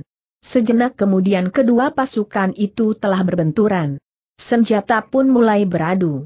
Hentakan pada benturan pertama telah menguji kemampuan pasukan dari kedua belah pihak. Pada pasukan tanah perdikan, maka orang-orang yang berada di lapisan pertama tidak sekedar mempergunakan keberanian dan kemampuan mereka. Tetapi mereka juga mempergunakan penalaran mereka. Sekali-sekali lapisan pertama itu memang menguak sehingga beberapa orang lawan menyusup masuk. Namun pada lapisan kedua orang-orang itu terkejut. di lapisan kedua ujung-ujung senjata dari orang-orang yang berpengalaman telah menunggu mereka. Orang-orang di lapisan kedua lah yang harus bertahan. Mereka berusaha agar tidak ada orang yang menyusup ke belakang mereka. Setidak-tidaknya mereka berusaha untuk membatasi orang-orang yang menyusup ke lapisan. Ketiga sekecil mungkin, meskipun di lapisan ketiga itu terdapat juga orang-orang pilihan. Namun sebagian besar mereka adalah anak-anak muda tanah perdikan yang dengan sukarela ikut mempertahankan kampung halaman mereka dari orang-orang yang bukan seharusnya menguasainya. Sejenak kemudian, maka di sepanjang tebaran pasukan kedua belah pihak itu, telah terjadi pertempuran yang sengit. Namun dalam pada itu, pemimpin dari kedua belah pihak justru tidak segera dapat bertemu. Ketika kedua pasukan itu maju dengan cepat menjelang benturan terjadi, maka pasukan itu justru telah mendahului para pemimpin dari kedua belah pihak. Orang-orang tanah perdikan Sembojan memang merasa terganggu oleh teriakan-teriakan dan umpatan-umpatan kasar dari orang-orang yang terutama dipimpin oleh Kala Sembung. Karena itu, maka seorang di antara para pengawal tanah perdikan itu justru berteriak nyaring, hentikan teriakan-teriakan kasar dan kotor itu. Ternyata untuk mengimbangi teriakan-teriakan yang menyakiti telinga itu, orang-orang tanah perdikan pun telah berteriak pula, hentikan mereka. Hentikan mereka. Jati wulunglah yang berada di sayap yang kebetulan berhadapan dengan sayap yang dipimpin oleh Kalasmiung itu. Karena itu, maka kemarahannya pun segera telah membakar jantungnya. Namun sebagai seorang yang telah berpengalaman, maka Jati Wulung tidak segera kehilangan penalaran. Betapapun marahnya, namun ia masih mampu membuat perhitungan-perhitungan yang mapan, sehingga Jati Wulung masih dapat melakukan langkah yang terbaik bagi pasukan di ujung sayap itu. Namun ternyata bahwa Jati Wulung pun tidak segera bertemu dengan Ki Kala Sembung. Karena itu, untuk beberapa saat lamanya, Jati Wulung harus bertempur dengan orang-orang yang kasar dan kadang-kadang justru menjadi liar. Tetapi sesuai dengan tugasnya, bersama beberapa orang terpilih di sayap itu, Jati Wulung harus menusuk masuk ke dalam pasukan lawan. Ujung-ujung gelar Wulan Tumanggal itu akan menghunjam dalam-dalam, dan menghancurkan kekuatan lawan di dalam pasukan lawan itu sendiri. Jika tugas itu di kedua sayap berhasil, maka pada saatnya gelar wulan tumanggal itu akan berkerut dan bidang gerak lawan pun akan menjadi semakin sempit sejalan dengan susutnya kekuatan mereka. Tetapi menghadapi lawan yang tidak mengenal gelar dan bertempur dan kasar dan liar, maka Jati Wulung memang agak menemui kesulitan. Namun demikian, hal yang terjadi itu sebelumnya memang sudah diduganya sehingga serba sedikit sudah diberitahukan kepada pasukannya. Namun, Bagaimanapun juga lawan yang dihadapi, Jati Wulung tidak berkisar dari rencana yang telah disepakati.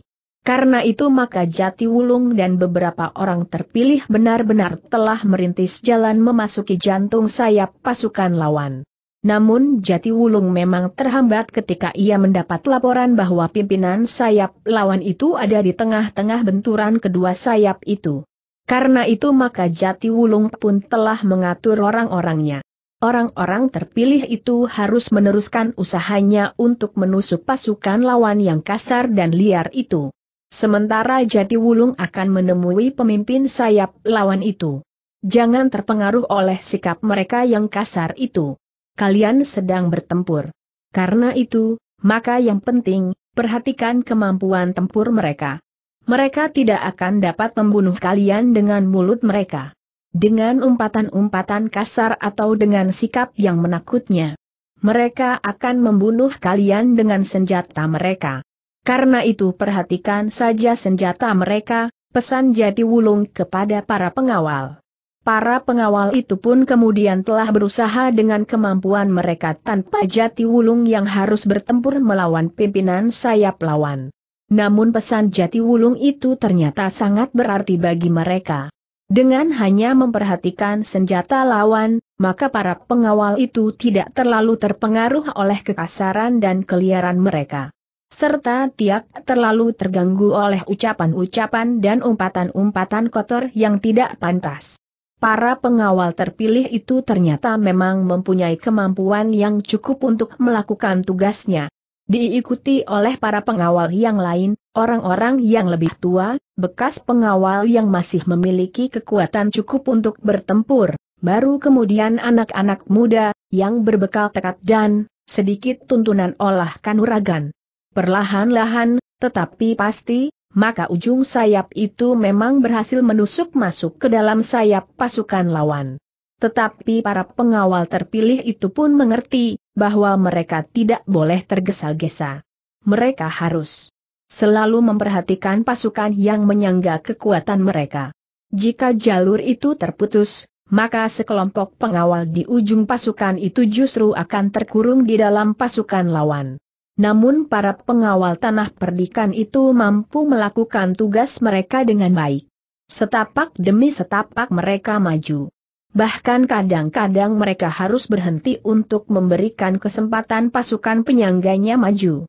Sementara itu, pangkal sayap itu pun telah bertempur dengan garang pula. Mereka berbenturan pada satu garis pertempuran yang sengit, sehingga ternyata bahwa pertempuran di pangkal sayap itu cukup banyak menghisap tenaga.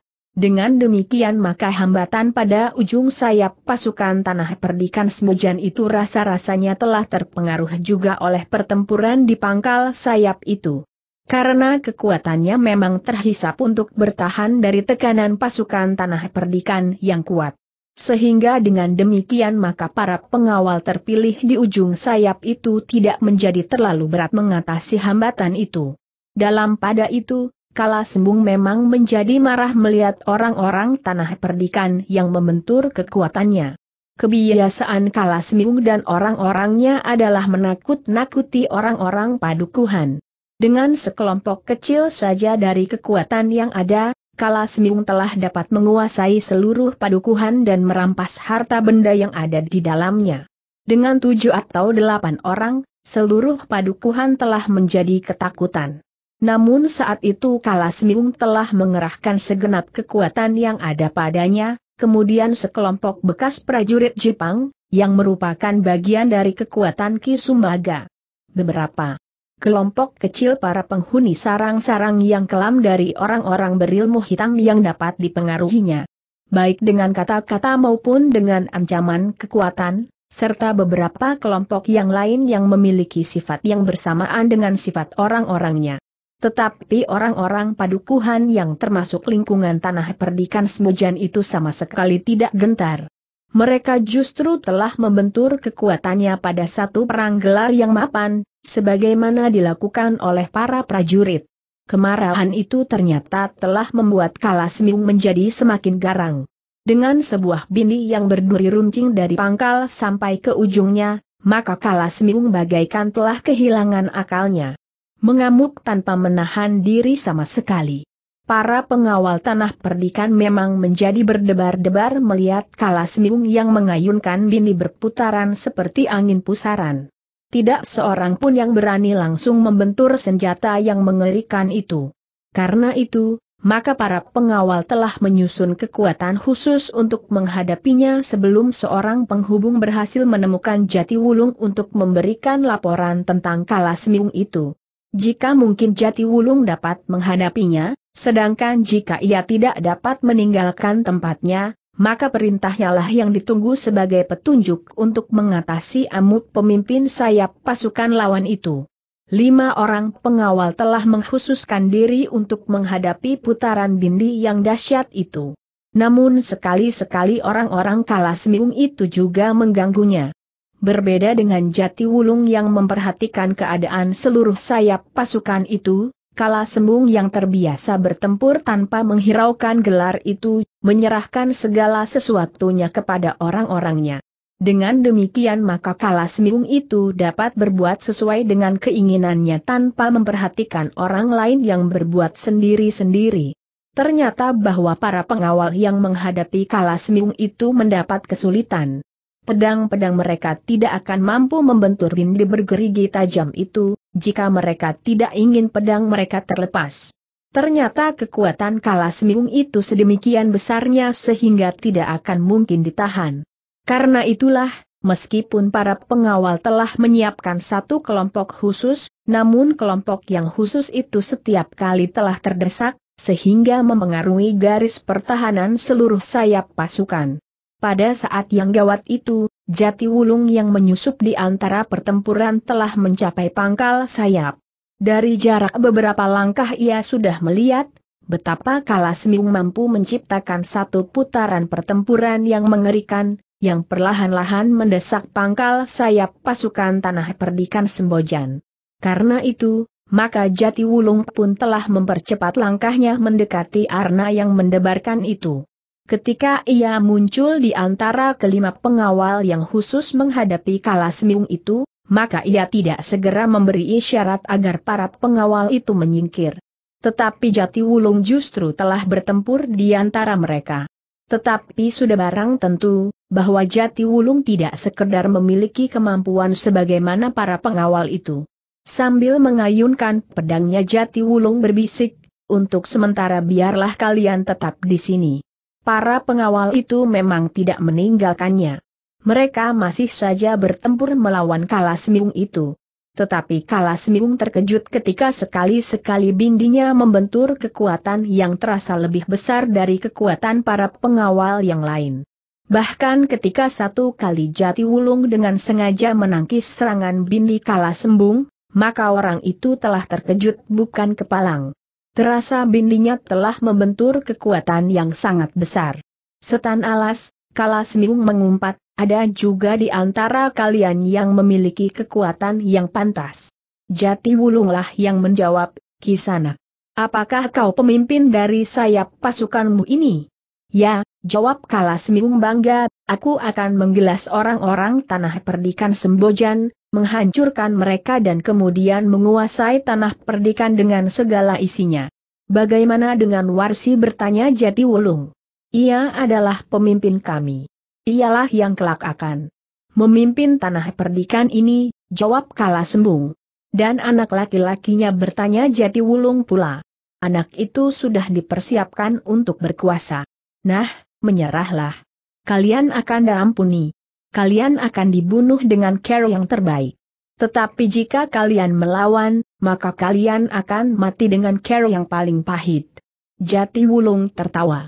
Sementara itu serangan-serangan kala sembung pun menjadi semakin lamban, sehingga seakan-akan telah berhenti sama sekali, meskipun ia sama sekali tidak mengurangi kewaspadaan, bahkan senjatanya masih saja bergerak-gerak dan siap terayun menghantam tubuh lawan. Di sela-sela tertawanya, Jati Wulung bertanya, jadi itukah ukuran diampuni menurut pengertianmu? Siapa yang dibunuh dengan cara yang baik itulah yang diampuni. Sedangkan yang tidak diampuni akan mengalami siksaan menjelang kematiannya? Ya, itulah akibat yang harus kalian perhitungkan bahwa kalian telah berani melawan kehendak kami, kala semiung itu menggeram. Tetapi Jati Wulung masih saja tertawa, sehingga kala Semiung itu membentak, Hi, kenapa kau tertawa? Apakah kau menjadi gila karena ketakutan? Kau memang pandai bergurau, jawab Jati Wulung, kau selalu mengatakan bahwa kau akan membunuh kami dengan care apa pun.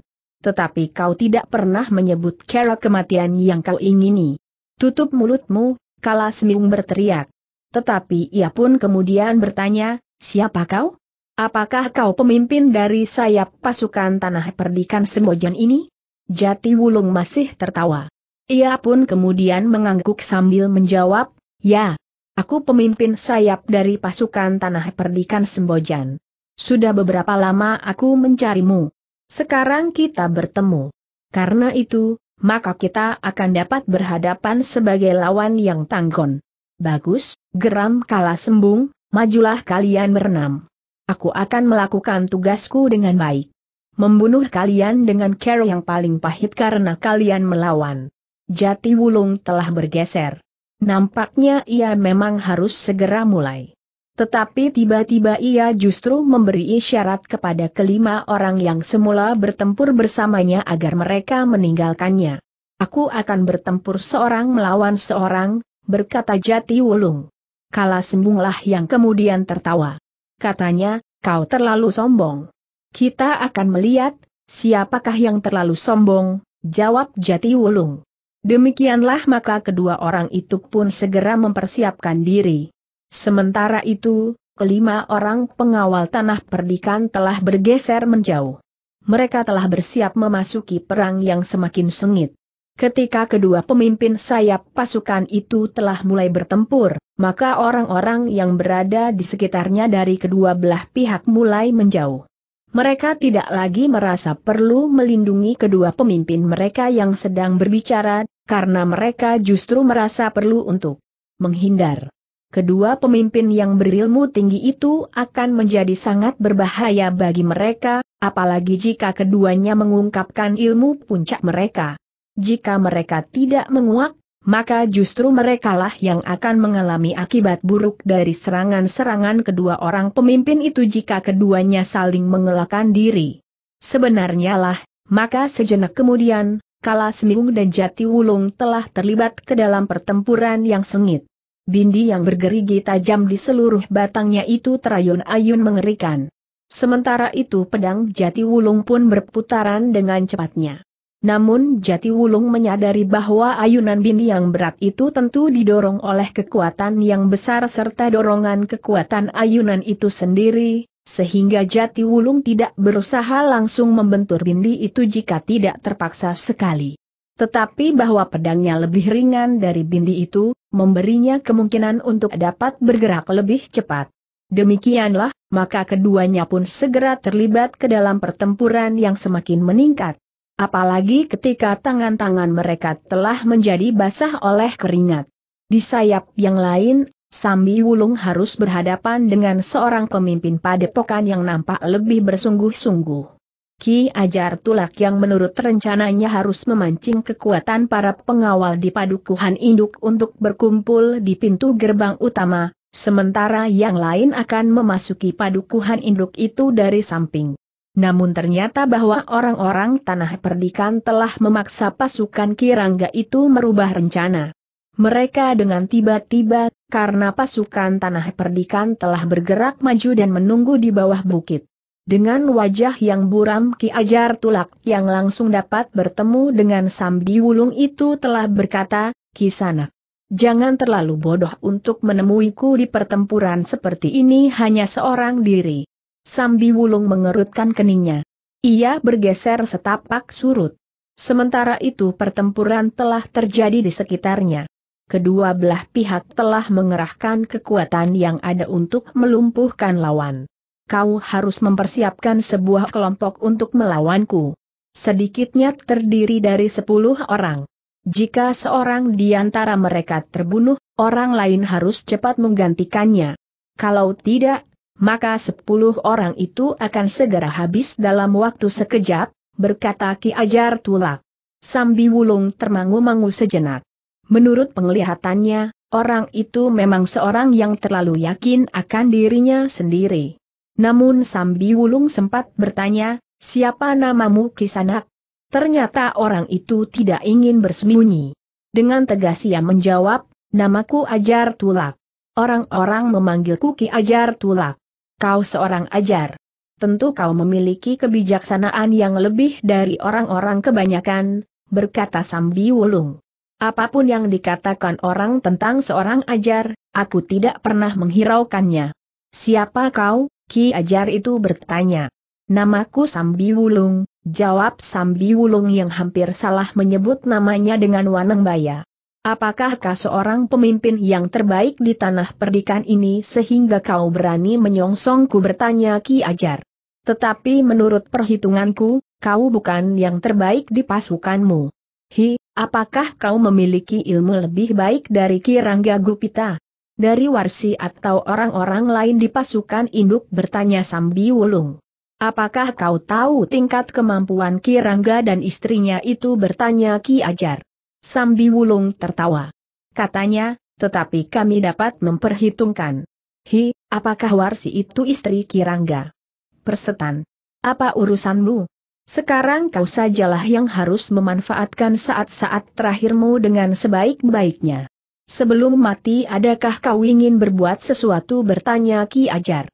Ya, jawab Sambi Wulung. Apa bertanya Ki Ajar pula? Membunuhmu, jawab Sambi Wulung, agaknya kau memang seorang ajar yang justru dulu. Kau tidak dapat menilai baik dan buruk, kesalahan dan kebenaran, ketamakan dan berbudi. Agaknya pada suatu saat kau juga tidak akan dapat membedakan lagi, terang dan gelap. Hi, lihat. Yang di langit itu matahari atau bulan. Wajah Ki Ajar menjadi merah. Ia adalah seorang yang sangat disegani oleh orang-orangnya dan bahkan ia merasa bahwa orang-orang lain pun sangat menghormatinya. Tetapi orang tanah perdikan ini telah menghinanya dan memperlakukannya seperti seorang anak kecil. Karena itu, maka ia pun menggeram, kau harus dibunuh dengan cara yang khusus karena kau telah menghinaku. Sambi Wulung justru tertawa. Katanya, jangan marah Ki Ajar. Seorang ajar harus bijaksana, sabar dan berbudi luhur. Ki ajar tulak itu tidak lagi dapat menahan kemarahannya.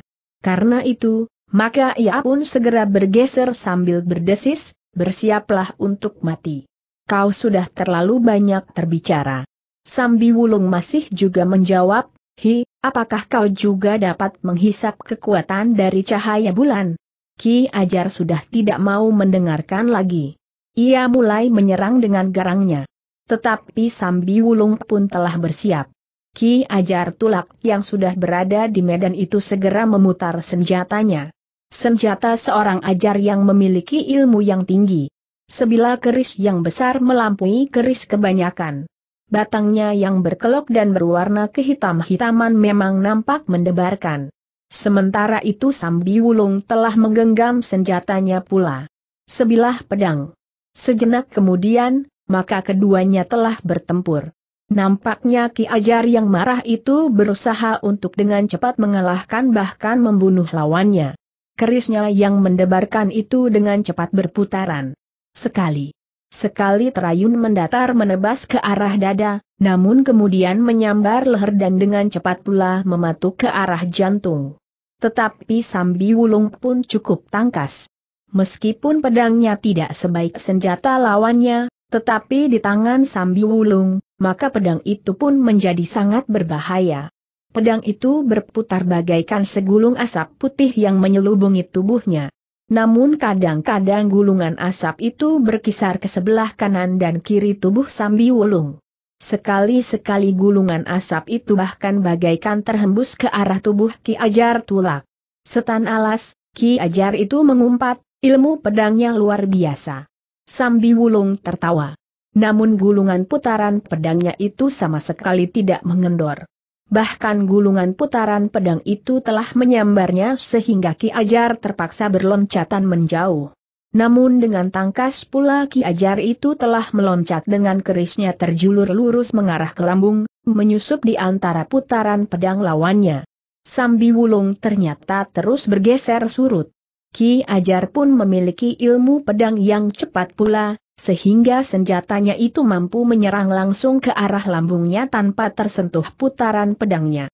Dengan demikian maka pertempuran antara kedua pemimpin sayap itu menjadi semakin sengit. Keduanya mampu menguasai senjata masing-masing dengan baik. Ilmu pedang mereka adalah ilmu pedang pada tataran tertinggi, sehingga untuk kebanyakan orang, pertempuran itu sulit dipahami. Sementara itu, orang-orang yang berada di sayap itu pun telah mengerahkan segenap kemampuan mereka pula. Baik para pengawal dari tanah perdikan, maupun orang-orang dari balik bukit. Namun ternyata orang-orang dari balik bukit itu telah salah menilai. Ternyata para pengawal tanah perdikan yang masih muda itu pun memiliki kemampuan seorang prajurit yang tangguh. Sementara itu, yang lebih tua, telah memiliki pengalaman yang panjang. Termasuk perang yang serupa di sekitar 10 tahun yang lalu ketika Kirangga dan Warsi mencoba menguasai tanah perdikan itu sebagaimana mereka lakukan sekarang. Dengan demikian maka para pengawal tanah perdikan itu pun tidak terlalu mudah untuk didesak. Meskipun di antara mereka ada pula anak-anak muda yang baru mengenal olah kanuragan pada tataran yang permulaan, namun di sebelah menyebelah adalah kawan-kawan mereka yang lebih banyak menarik perhatian lawan. Apalagi anak-anak muda itu telah mendapat beberapa pesan, agar mereka bergerak berpasangan. Dengan demikian maka pertempuran di sayap kanan itu memang menjadi semakin sengit. Orang-orang dari balik bukit semakin lama menjadi semakin keras dan kasar. Tetapi para pengawal tanah perdikan sama sekali tidak menjadi gentar. Apalagi para pengawal yang telah berpengalaman. Mereka sudah sering mengalami pertempuran dengan cara yang demikian. Namun justru karena itu, maka mereka harus tetap menyadari kedudukan mereka di medan. Mereka tidak boleh kehilangan akal, sehingga tidak mampu lagi mempergunakan penalaran mereka. Sementara itu, Ki Ajar Tulak mulai menyadari, bahwa lawannya yang bernama Sambi Wulung itu bukan hanya seorang yang pandai membual. Ternyata dalam benturan-benturan senjata selanjutnya, Sambi Wulung benar-benar menunjukkan kemampuannya bermain pedang. Bahkan ia pun ternyata memiliki kekuatan yang cukup besar. Namun dengan demikian, Ki Ajar menjadi semakin berhati-hati. Ia tidak lagi dengan tergesa-gesa ingin mengakhiri pertempuran itu. Karena ia sadar, jika demikian maka mungkin ia sendiri yang akan terjerat ke dalam kesulitan. Sementara itu Sambi Wulung masih berusaha untuk menilai bukan saja lawannya, tetapi seluruh medan di sayap itu. Sekali-sekali ia memang mencari kesempatan untuk memperhatikan pertempuran di sebelah menyebelah. Namun menurut penilaiannya, para pengawal tanah perdikan tidak terlalu banyak mengalami kesulitan meskipun lawannya bertempur dengan garangnya. Bahkan kasar dan liar. Ki Ajar sendiri memang bertempur dengan keras. Tetapi ia masih menunjukkan sikap seorang yang memiliki harga diri yang tinggi. Ki Ajar tidak mau merendahkan dirinya dengan keliaran sebagaimana dilakukan oleh orang-orangnya. Dalam pada itu, pertempuran di induk pasukan pun terjadi dengan sengitnya pula, Ki Sumbaga memiliki kemampuan untuk bertempur dalam gelar. Meskipun ia tidak mempersiapkan gelar untuk menghadapi orang-orang tanah perdikan, tetapi ternyata bahwa ia mampu dengan aba-aba mengatur orang-orangnya. Yang menjadi sangat garang justru Warsi yang merasa bahwa dirinya telah dipenuhi oleh kekuatan cahaya bulan. Karena itu, maka Warsi itu telah bergerak dengan garangnya. Ia tidak terikat menghadapi seorang lawan. Tetapi ia meloncat-loncat dari satu tempat ke tempat lain. Orang-orang tanah perdikan memang tergetar melihat sikapnya. Setiap tempat yang disinggahinya, maka korban akan jatuh. Demikian Kirangga Gupita pun telah mengamuk bagaikan harimau yang terluka. Sebagai seorang yang berilmu tinggi, maka orang-orang tanah perdikan Sembojan mengalami kesulitan untuk menghadapinya.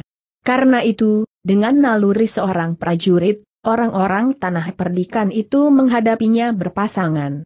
Bahkan tidak hanya berdua, tetapi bertiga atau bahkan berempat. Sementara itu, kelompok-kelompok yang memang sudah dipersiapkan oleh orang-orang dari balik bukit itu pun mulai bergerak. Oleh beberapa orang penghubung mereka telah dibawa menghadapi orang-orang tua dari tanah perdikan Sembojan. Oleh kemampuan Ki Sumbaga mengatur orang-orangnya, maka tiba-tiba saja Kiai Badra, Kiai Soka dan Nyai Soka telah dikurung oleh sekelompok orang yang telah dipersiapkan. Demikian pula Iswari. Demikianlah maka pertempuran di pasukan induk itu pun menjadi semakin sengit. Warsi dengan sengaja memang tidak segera berusaha menemui Iswari. Ketika ia berada di medan, maka tiba-tiba saja ingin memanaskan darahnya lebih dahulu dengan membunuh lawan sebanyak-banyaknya. Ternyata yang dilakukan oleh Warsi itu tidak dilakukan oleh para pemimpin tanah perdikan Sembojan mereka sama sekali tidak mempunyai niat sebagaimana dilakukan oleh Warsi. Karena itu, maka para pemimpin tanah perdikan itu pun bertempur dengan sikap seorang senapati. Meskipun di dalam peperangan mereka tidak mempunyai pilihan lain daripada menyingkirkan lawan-lawannya, tetapi dada mereka tidak dibakar oleh nafsu yang tidak terkendali orang-orang tanah perdikan masih mengendalikan diri menghindari kematian sejauh dapat dilakukan, meskipun mereka pun berusaha untuk menghentikan perlawanan lawan-lawannya.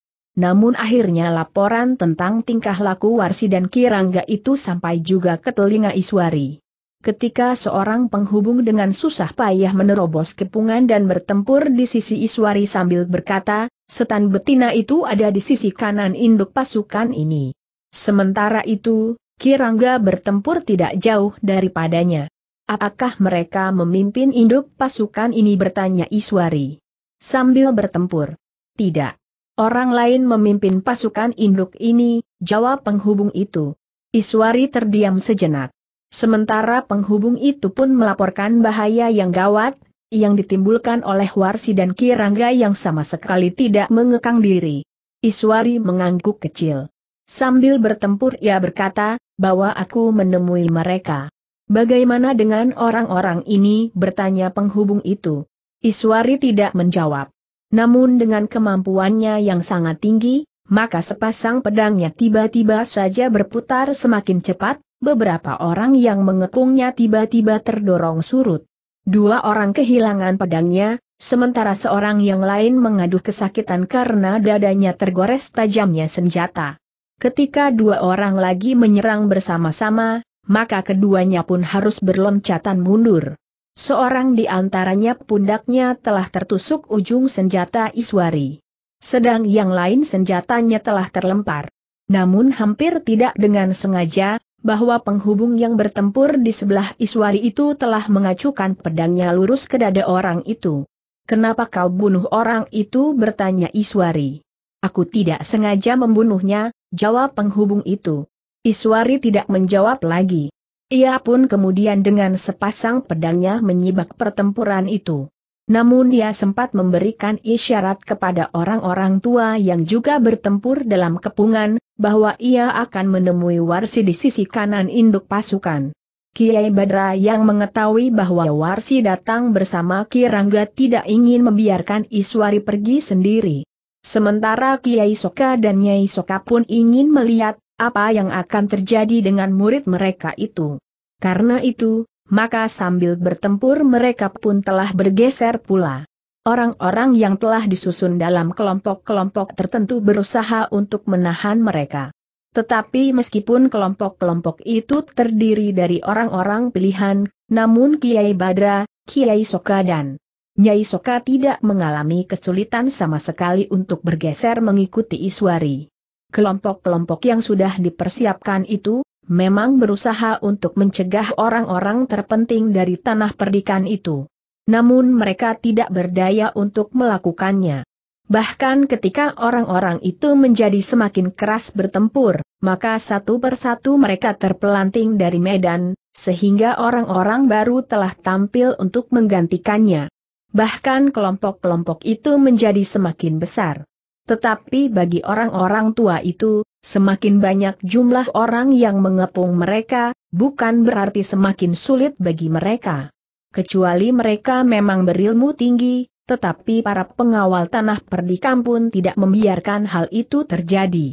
Karena orang-orang dari balik bukit itu semakin banyak yang mengerumuni orang-orang tua dari tanah perdikan, maka para pengawal pun semakin banyak mendapat kesempatan untuk memecah kepungan itu, karena mereka telah kehilangan lawan.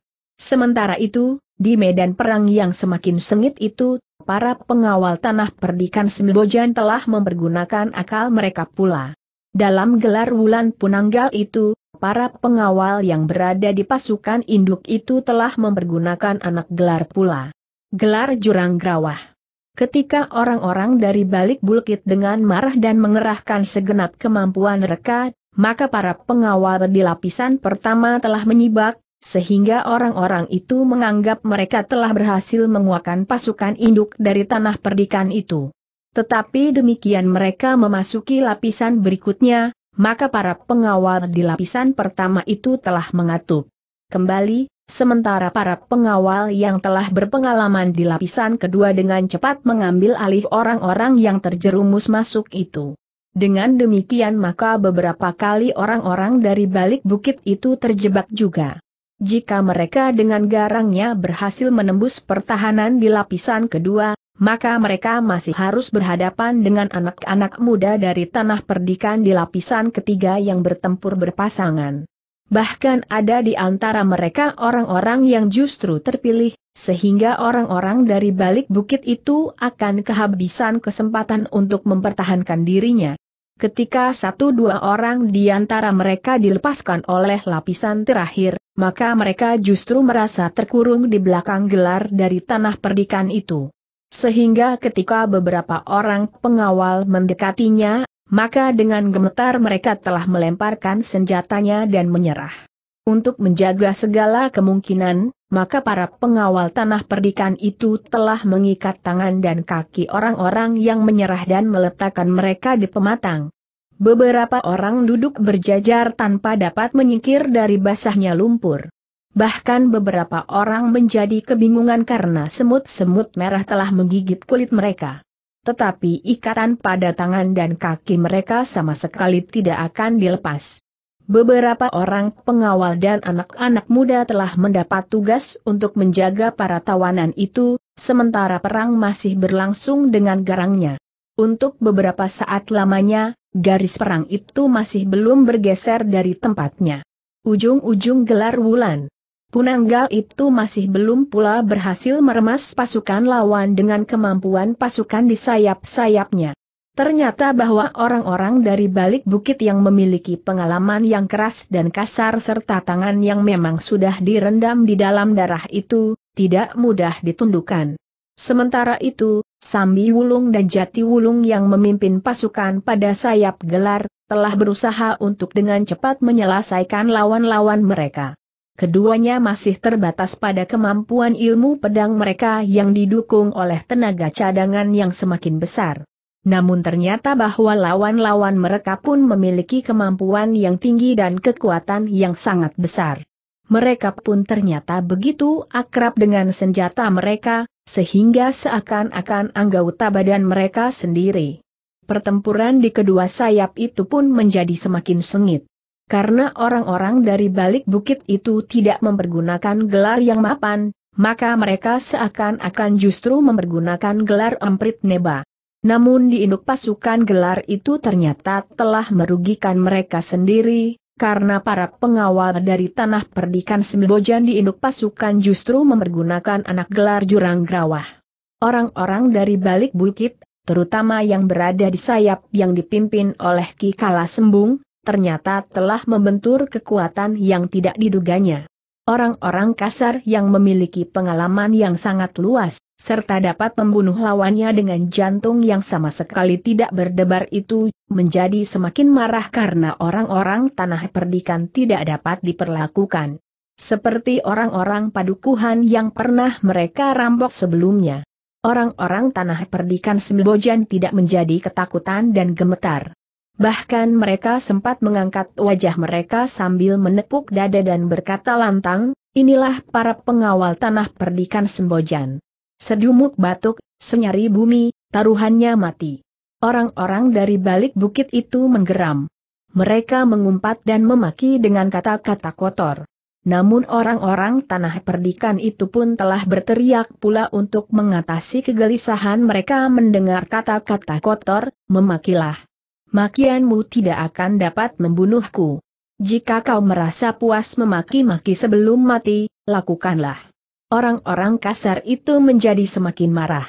Namun semakin mereka menjadi marah, maka mereka pun menjadi semakin liar dan buas.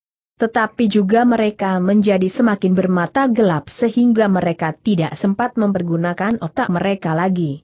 Sehingga dengan demikian maka mereka tidak lagi membuat perhitungan-perhitungan yang mapan mereka bertempur asal saja mempergunakan kekuatan dan kemampuan mereka tanpa akal dan penalaran. Para pengawal tanah perdikan memang sudah mendapat pesan sebelumnya, bahwa mungkin sekali mereka akan berhadapan dengan orang sebagaimana dihadapinya itu. Karena itu, mereka sudah mempersiapkan diri mereka baik-baik. Bahkan mereka sudah mempersiapkan perlawanan yang paling baik menghadapi orang-orang yang bagaikan menjadi mabuk itu. Dalam pada itu, Iswari yang bergeser perlahan-lahan sambil menyibak pertempuran yang sengit di enduk pasukan. Memang menjadi semakin dekat dengan lingkaran pertempuran antara Warsi dengan sekelompok pengawal. Karena itu, maka ia mulai melihat kegelisahan pada pasukannya. Nampaknya Warsi masih saja berbuat kasar dan keras. Ketika orang-orang tanah perdikan ini melihat kehadiran Iswari, maka tiba-tiba saja dengan serta-merta orang-orang tanah perdikan itu telah bersorak. Mereka yang mengalami tekanan oleh kekasaran dan kekerasan sikap Warsi, merasa bahwa seorang pelindung telah datang. Orang-orang dari balik bukit itu terkejut. Sorak yang bagaikan hendak meruntuhkan langit itu telah menggetarkan jantung mereka. Karena sesuatu tentu telah terjadi. Baru kemudian mereka menyadari, bahwa pemangku jabatan kepala tanah perdikan Sembojan telah hadir di arena pertempuran itu. Iswari bergeser terus. Yang mula-mula ditemuinya adalah justru putaran pertempuran melawan Kirangga Gupita. Menurut perhitungan Iswari, agaknya Warsi tentu lebih berbahaya dari Kirangga. Karena itu, maka Iswari itu pun telah meninggalkan Kirangga untuk mencari Warsi. Ternyata jarak mereka memang tidak terlalu jauh. Sebentar kemudian, maka orang-orang di seputar Warsilah yang bersorak kegirangan. Rasa-rasanya, nyawa mereka yang sudah berada di ujung ubun-ubun itu telah mantap kembali di dalam tubuh mereka. Iswari dengan jantung yang berdebaran mendapat laporan dari seorang penghubung yang lain yang mengikuti terus tingkah laku Warsi. Beberapa orang memang sudah terbunuh dan terluka, sehingga mereka telah diangkat dan disingkirkan keluar arna. Jika Nyiwiradana tidak segera datang, maka di putaran pertempuran ini, orang-orang kita akan dilumatkan. Pasukan kita tentu akan koyak dan gelar wulan punanggal ini akan kehilangan arti, berkata penghubung itu. Iswari mengangguk-angguk. Hampir di luar sadarnya ia telah mengangkat wajahnya. Dilihatnya bulan yang bulat memancar di langit yang bersih tetapi Iswari itu pun telah mengatupkan giginya rapat-rapat. Ia tidak percaya bahwa cahaya bulan itu akan dapat membuat seseorang semakin tinggi tingkat ilmunya selain sebagaimana pernah dikatakan oleh gurunya, bahwa pengaruhnya justru ada dalam sikap kajiwan. Kepercayaan dan keyakinan yang mendalam akan membuat seseorang berjiwa teguh dan penuh harapan. Agaknya Warsi pun akan bersikap demikian justru di bawah siraman cahaya bulan yang penuh. Beberapa saat kemudian, maka Iswari telah melihat, bagaimana kekasaran Warsi di medan itu. Ia mulai melihat orang-orang tanah perdikan harus memeras kemampuannya dalam kelompok yang cukup besar untuk menahan agar Warsi tidak berloncatan di medan pertempuran itu sambil menyebarkan maut. Untuk menahan kebebasan geraknya, maka beberapa orang pengawal telah berusaha untuk menahannya dengan senjata bertangkai panjang dari beberapa arah. Namun tidak seorang pun di antara mereka yang mampu menyentuh tubuhnya. Apalagi ketika Warsi kemudian telah mempergunakan senjatanya yang mendebarkan seutas rantai yang kadang-kadang terjulur panjang, namun kadang-kadang rantai itu digulungnya, sehingga juntainya hanya pendek saja. Namun juntai yang pendek itu di tangan Warsi justru menjadi sangat berbahaya, karena rantai itu seakan-akan dapat berubah menjadi tongkat baja yang kuat yang bukan saja dapat dipergunakan untuk menebas, tetapi juga untuk menusuk. Ketika Iswari mendekati lingkaran pertempuran itu, tiba-tiba saja debar jantungnya serasa semakin cepat. Ia mulai dibayangi oleh perasaannya sendiri seolah-olah beberapa orang di medan itu telah memandanginya dengan bibir yang mencibir. Seolah-olah beberapa orang tidak yakin, bahwa ia telah menempatkan dirinya untuk melawan Warsi itu karena tanggung jawabnya atas tanah perdikan Sembojan. Namun menurut perasaan Iswari, ada saja orang yang menganggapnya Iswari bertempur menghadapi Warsi karena sakit hati, bahwa suaminya telah diambil oleh perempuan itu. Seolah-olah yang dilakukan Iswari itu adalah persoalan antara dua orang perempuan yang pernah dimadu oleh Ki Wiradana, sehingga kesempatan itu tidak lebih dari kesempatan melepaskan dendam seorang yang kehilangan suaminya. Iswari terkejut ketika ia mendengar teriak kesakitan. Seorang pengawal telah terlempar dari arna sehingga terguling beberapa kali, justru jatuh di kaki pengikut Tuarsi. Iswari terkejut melihat pengikut Tuarsi itu masih juga mengangkat senjata untuk membunuh orang yang sudah tidak berdaya itu. Adalah di luar sadarnya, bahwa dengan kecepatan seekor burung sikatan, Iswari meloncat dan ujung pedangnya tiba. tiba telah mengoyak pundak orang yang akan membunuh lawan yang sudah tidak berdaya itu. Baru kemudian, dua orang tanah perdikan sempat berlari mendekat menolong orang yang terluka oleh ujung rantai warsi itu. Namun seorang dari orang-orang yang menyerang tanah perdikan itu pun jatuh berguling-guling sambil menahan sakit, karena pundaknya yang koyak. Dengan demikian maka Iswari pun semakin menyadari, apa yang telah terjadi di sekitar Warsi. Karena itu, maka ia pun telah bertekad untuk segera memasuki arena pertempuran melawan perempuan iblis itu. Orang-orang tanah perdikan yang melihatnya telah bersorak lagi, sementara mereka menyibak memberikan jalan kepada Iswari untuk memasuki arena, sementara yang lain berusaha menahan orang-orang dari balik bukit yang ingin menyerang Iswari itu. Kau anak manis tiba-tiba saja Warsi menggeram. Kita bertemu lagi di malam terang bulan seperti ini. Aku sengaja menunggumu sampai kau menemukan satu waktu yang dapat memberimu sedikit dukungan jiwani karena sinar bulan itu kasangka akan dapat membantumu, berkata Iswari. Warsi mengerutkan keningnya. Namun kemudian terdengar ia tertawa berkepanjangan. Namun yang sama sekali tidak diduga oleh Iswari, perempuan itu telah bertanya, jadi kau masih sakit hati karena suamimu kemudian meninggalkanmu dan mengawini aku, sehingga kau perlukan malam ini mencariku? Telinga Iswari menjadi merah. Namun ia berusaha agar jiwanya tidak menjadi lemah dan terpengaruh oleh kata-kata perempuan itu. Karena itu Iswari justru menjawab, agaknya pertanyaan itu sudah lama kau persiapkan. Kau ingin mempengaruhi perasaanku dengan pertanyaan-pertanyaan cengeng seperti itu. Kau memang selalu berprasangka buruk. Memang agak bertentangan dengan wajahmu yang cantik itu. Setelah umurmu bertambah dengan kurang lebih sepuluh tahun, kau justru nampak lebih cantik dan muda. Hi, apakah kau tidak ingin kawin lagi? Tentu ada segerobak laki-laki yang akan bersedia menjadi suamimu. Kau cantik, berilmu dan seorang yang kini mendapat kesempatan untuk menguasai tanah perdikan ini, berkata Warsi. Tetapi Warsi pun terkejut ketika Iswari bertanya, apakah kau juga kawin lagi? Atau sekedar mencari kepuasan dari segerobak laki-laki yang kau kuasai lahir dan batinnya? Warsi memang tidak mengira bahwa ia akan mendapat pertanyaan seperti itu dari mulut Iswari.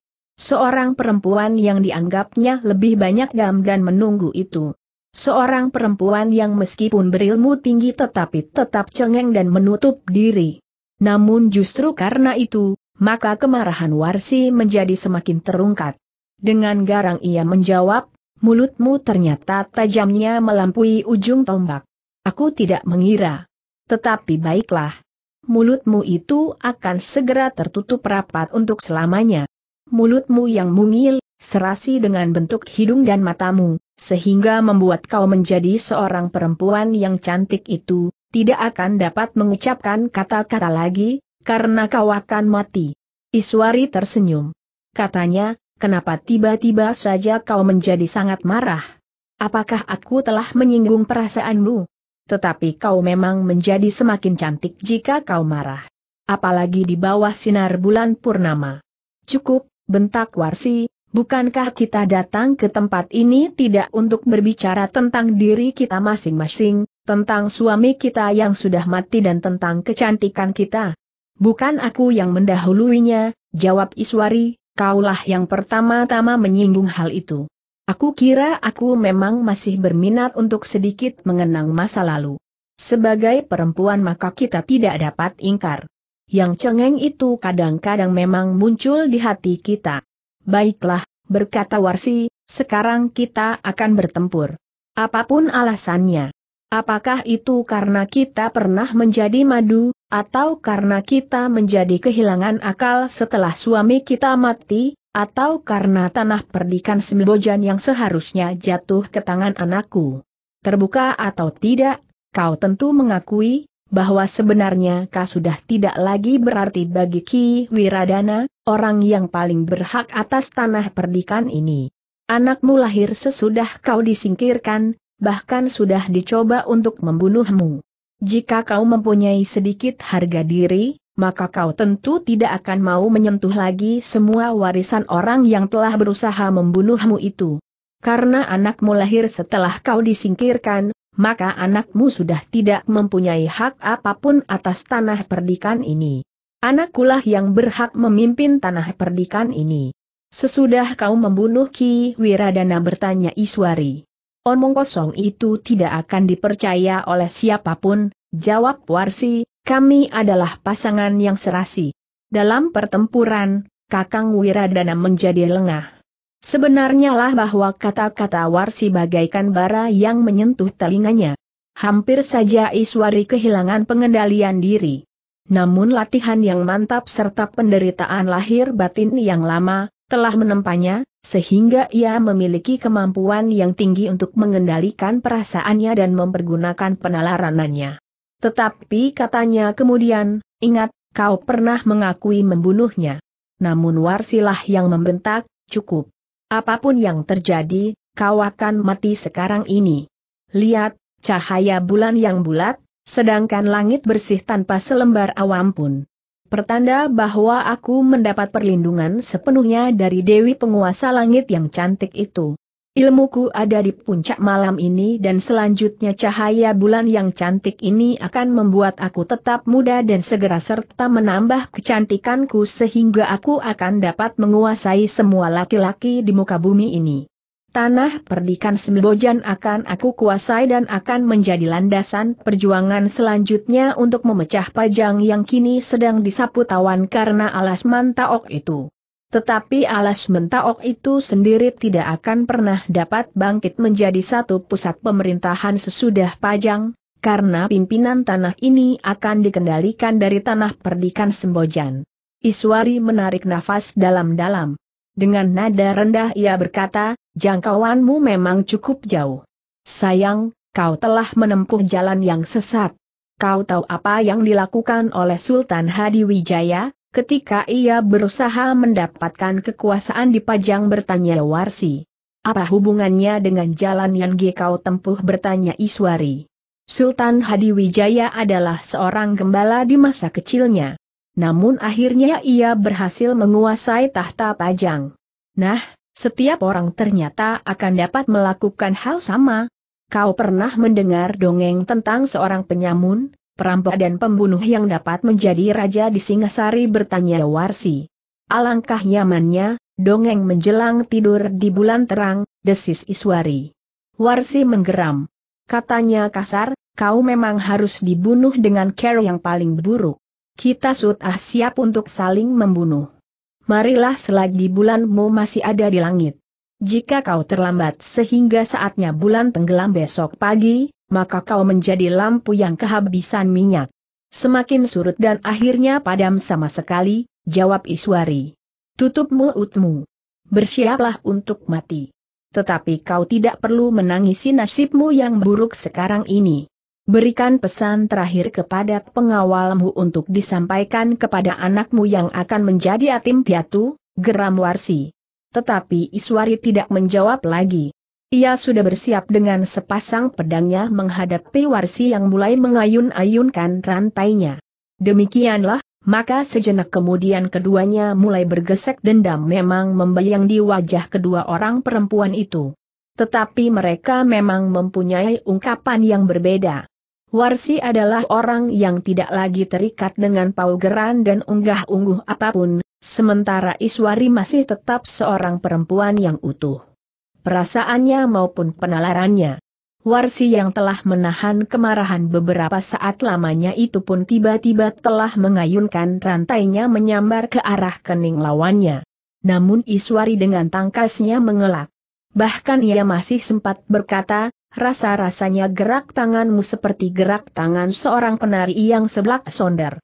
Jari-jarimu yang lentik mampu mengibas rantai seperti mengibaskan sonder di saat kau menari di pinggir-pinggir jalan di waktu gadismu. Tutup mulutmu, Warsi berteriak, kita bertempur. Bukan berbicara berkepanjangan. Iswari justru tersenyum. Namun serangan Warsi kemudian telah datang membadai. Rantainya terayun-ayun dan berputaran dengan cepatnya. Iswari memang sudah bersiap sepenuhnya. Kedua pedang di kedua tangannya pun telah bergetar pula. Kakinya dengan cepat bergerak melontarkan tubuhnya yang berloncatan menghindari serangan lawannya. Meskipun keduanya pernah bertempur bahkan justru berperang tanding, namun itu sudah terjadi di waktu yang telah lama berlalu. Keduanya tentu sudah meningkatkan ilmu mereka masing-masing, sehingga keduanya merasa perlu untuk kembali saling menjajagi. Sementara itu, pertempuran di seluruh medan itu menjadi semakin sengit bulan yang menjadi semakin tinggi memancarkan cahayanya yang kekuning-kuningan. Seakan-akan bulan itu tengah mengerahkan segala kemampuan cahayanya untuk menerangi bumi yang mulai basah bukan saja oleh embun, tetapi oleh darah. Pertempuran yang liar telah terjadi di sayap-sayap gelar yang tidak merata itu. Meskipun gelar pasukan pengawal tanah perdikan mapan, tetapi lawannya tidak mempergunakan gelar yang baik. Mereka asal saja menebar dan bertempur dengan garang dan kasar. Lebih-lebih lagi para pengikut Ki Kala Sembung. Sedangkan pasukan yang ada di sayap yang dipimpin oleh Ki Ajar Tulak pun rasa-rasanya tidak, mungkin lagi dikuasai oleh pangeran atau tanggung jawab terhadap perbuatan yang dilakukan baik oleh seluruh kekuatan di sayap itu, oleh kelompok-kelompok yang berada di sayap itu, ataupun secara pribadi. Sehingga dengan demikian, maka orang-orang dari balik bukit itu, di kedua sayapnya, telah bertempur dengan liar dan tidak terkekang. Namun orang-orang tanah perdikan ternyata mampu mempertahankan gelar mereka. Apalagi di induk pasukan yang berhasil memanfaatkan anak gelar jurang grawah. Ki Ajar Tulak yang tidak mampu menguasai seluruh gerak orang-orangnya itu pun telah membiarkan mereka. Bahkan tiba-tiba saja ia berteriak, kita mempergunakan gelar Samudra Rab. Pasukan kita akan menghantam tebing beruntun terus-menerus. Tidak ada jemu-jemunya sampai tebing itu runtuh dan pasukan kita akan naik melanda gelar lawan dan menggulungnya, seperti ombak lautan yang sedang naik didorong oleh prahara yang tidak terkekang oleh kekuatan apa pun. Teriakan Ki Ajar Tulak itu justru semakin membakar jantung para pengikutnya serta orang-orang yang ada di dalam kelompoknya. Yang kasar menjadi semakin kasar. Yang buas menjadi semakin buas. Bagi mereka sama sekali tidak ada lagi yang mengekang tingkah laku mereka. Tetapi aba-aba Ki Ajar Tulak itu juga merupakan aba-aba bagi para pengawal tanah perdikan Sembojan. Mereka yang mendengarnya segera mempersiapkan diri menghadapi apa yang disebut gelar Samudra Rob itu. Bahkan di pangkal sayap yang bertempur pada garis pertempuran, para pengawal tanah perdikan Sembojan mempergunakan anak gelar seperti yang dilakukan di induk pasukan. Menghadapi gelar Samudra Rob, maka para pengawal itu telah mempergunakan anak gelar jurang grawah. Gelombang yang datang menghantam tebing itu tidak dilawan dengan kerasnya batu padas yang semakin lama akan dapat menjadi semakin aus. Tetapi gelombang yang beruntun datang membadai itu telah menimpa tebing yang terbuka dan meluncur masuk ke dalam jurang yang dalam. Jurang yang tidak akan penuh betapapun juga gelombang yang ganas meluap ke dalamnya, karena air yang masuk ke dalam jurang itu langsung dihisap ke dalam bumi. Namun di ujung-ujung sayap gelar, para pengawal tidak mempergunakan anak gelar seperti itu. Ujung-ujung sayap gelar itu justru menusuk semakin lama semakin dalam. Meskipun kemudian para pemimpin dari sayap-sayap itu bertempur seorang melawan seorang, namun rencana yang sudah masak yang oleh orang-orang tanah perdikan. Beberapa pengawal terpilih, diikuti oleh para pengawal yang tidak terputus, telah berusaha untuk bertempur di dalam lingkungan lawan, di belakang garis pertahan mereka. Bahwa para pengawal terpilih itu berhasil menusuk masuk, maka pengaruh yang terbesar sebenarnya tidak pada imbangan kekuatan pasukan, tetapi condong pada pengaruh kejiwaan para pengawal yang sudah ada di dalam pasukan lawan dan bertempur di dalamnya serta hubungan yang tidak terputus dengan induk pasukan sayap itu, membuat lawan mereka menjadi sangat gelisah. Sementara itu, pasukan sayap lawan itu tidak dapat memusatkan perhatian mereka untuk menghancurkan para pengawal yang menyusup masuk itu, karena di bagian lain kekuatan sayap itu seakan-akan juga tidak terbendung. Bahkan dengan gelar Samudra Reb yang diterima oleh pasukan di sayap lawan dengan anak gelar Jurang Gerawah itu, maka rasa-rasanya orang-orang dari balik bukit itu menjadi cepat susut. Namun akhirnya para pemimpin kelompok orang-orang dari balik bukit itu menyadari, bahwa lawan mereka terlalu cerdik sehingga mereka pun telah mengekang diri. Mereka tidak lagi membentur kekuatan lawan seperti gelombang samudra yang didorong oleh angin prahara, namun yang kemudian meluap masuk ke dalam jurang yang tidak akan dapat menjadi penuh itu. Tetapi mereka telah bertempur dengan orang-orang yang langsung ada di hadapannya dan berusaha membunuhnya. Sementara itu, Sambi Wulung dan Jati Wulung masih saja bertempur dengan Ki Ajar Tulak dan Ki Kala Sembung. Namun Sambi Wulung dan Jati Wulung tidak merasa perlu untuk merambah sampai ke ilmu pamungkas mereka, karena dengan kemampuan ilmu pedang mereka dengan landasan tenaga cadangan yang mampu dibangkitkannya, mereka telah dapat mengatasi kemampuan lawan-lawan mereka. Bahkan Sambi Wulung yang bertempur melawan Ki Ajar Tulak itu telah mendesaknya sehingga Ki Ajar Tulak itu telah mengumpat-umpat. Ternyata bahwa sikap Ki Ajar itu semakin lama menjadi semakin berubah. Jika mula-mula ia masih bertahan pada sikap seorang yang berpegang pada harga dirinya, namun kemudian sikap itu menjadi semakin kabur. Ternyata Ki Ajar itu pun menjadi semakin kasar pula. Ki Ajar, berkata Sambi Wulung kemudian sambil mendesaknya, aku mohon Ki Ajar mampu membuat penilaian pada saat-saat yang gawat ini. Sebagai seorang ajar, maka Ki Ajar tentu mempunyai wawasan dan pertimbangan yang sangat luas. Bukan saja berdasarkan unsur-unsur yang lebih tinggi nilainya, yaitu hubungan antara kita dengan yang maha tinggi. Tetapi Ki Ajar itu justru berteriak, tutup mulutmu. Aku tidak ingin mendengar sesorahmu. Sambi Wulung tertawa. Katanya, jika kau sudah menobatkan dirimu menjadi seorang ajar, maka tentu kau harus memikul tanggung jawab yang besar karenanya. Tetapi Ki Ajar sama sekali tidak menjawab. Dengan garangnya ia menyerang Sambi Wulung. Namun Sambi Wulung benar-benar memiliki kemampuan ilmu pedang yang sangat tinggi. Di sayap yang lain, Jati Wulung telah menekan Ki Kalasmiung dengan kerasnya. Karena Kalasmiung juga hanya berlandaskan pada kemampuan kewadagan serta pengalamannya yang keras, maka Jati Wulung pun telah melayaninya pula dengan landasan ilmu pedangnya pula pada alas kekuatan cadangan di dalam dirinya.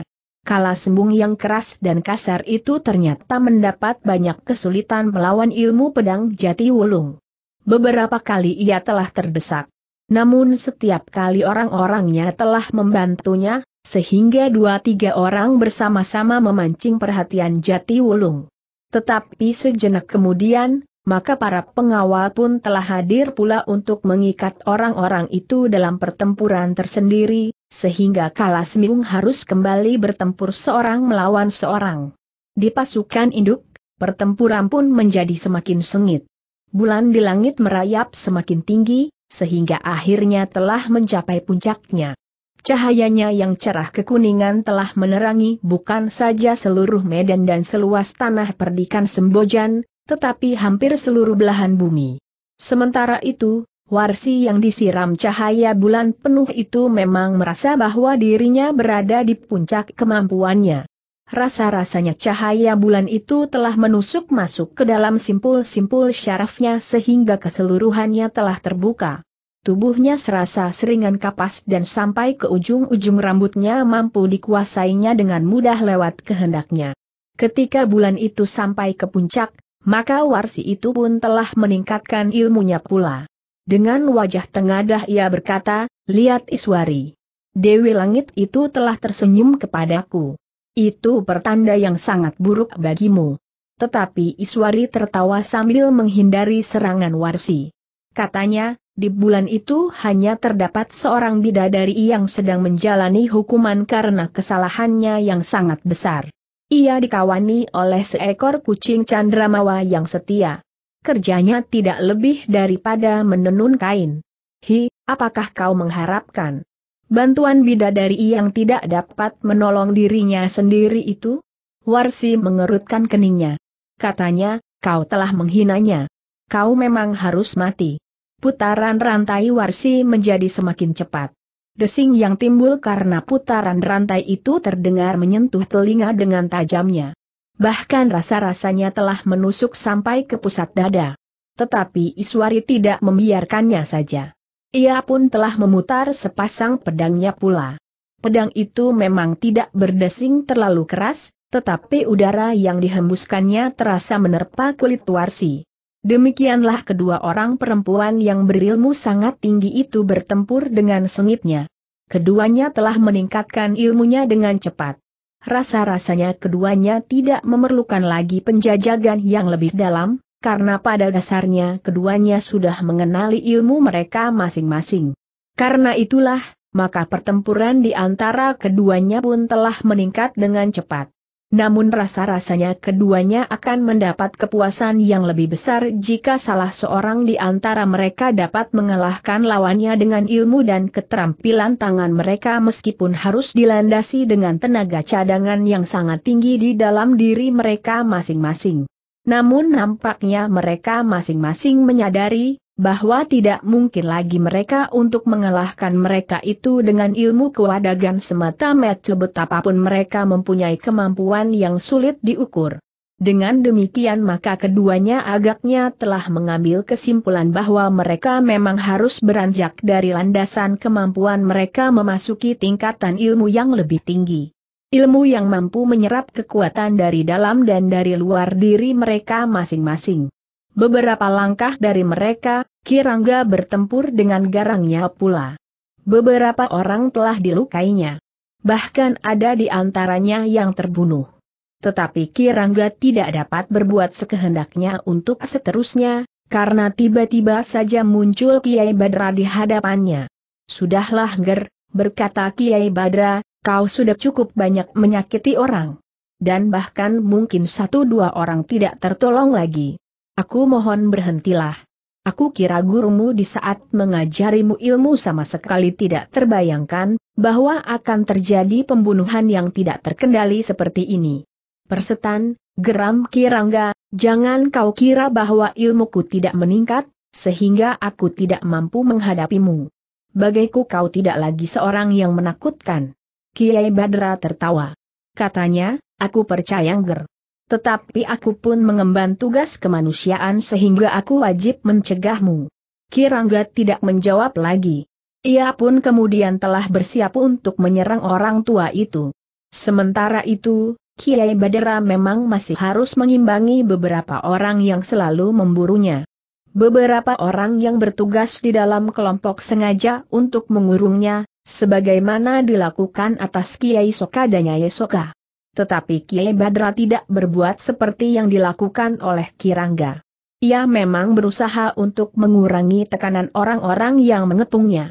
Mungkin Kiai Badra yang bersenjatakan pedang kebanyakan itu telah menggores tubuh lawannya. Namun yang dilakukan sekedar mengurangi tekanan lawan dalam keseluruhan menguyangi jumlah orang-orang dari balik bukit itu. Jika orang-orang yang terluka itu dibawa menepi, maka mereka tidak lagi berusaha untuk memasuki arna kembali. Mereka lebih senang berbaring sambil mengerang. Bahkan ada yang dengan sengaja menggoreskan darah dari lukanya ke bagian tubuhnya yang lain, sehingga nampaknya lukanya menjadi sangat parah. Dengan demikian maka ia tidak akan terpaksa memasuki arna itu kembali. Berbeda dengan orang-orang tanah perdikan Sembojan. Para pengawal yang terluka pun kadang-kadang tidak mau berhenti bertempur. Bahkan pemimpin-pemimpin kelompoknya kadang-kadang terpaksa memaksa satu dua orang pengawal yang terluka untuk berhenti bertempur. Beristirahatlah. Nanti jika lukamu telah pempat, kau dapat bertempur kembali, bentak pimpinan kelompok itu. Dorongan untuk bertempur di dalam hati anak-anak muda tanah perdikan memang berbeda dengan dorongan di hati orang-orang dari balik bukit. Ada di antara mereka yang dengan setia bertempur sampai lepas nyawanya.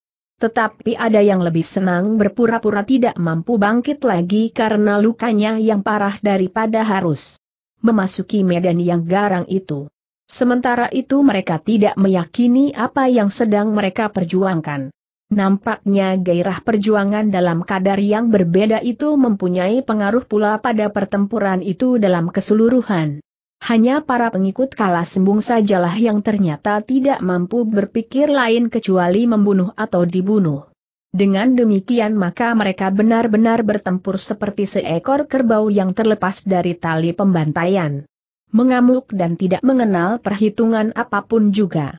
Jati Wulung yang menghadapi Kalasmiung dan orang-orangnya yang bagaikan gila itu memang agak mengalami kesulitan. Ia terdesak oleh keadaan untuk tidak berpikir terlalu panjang.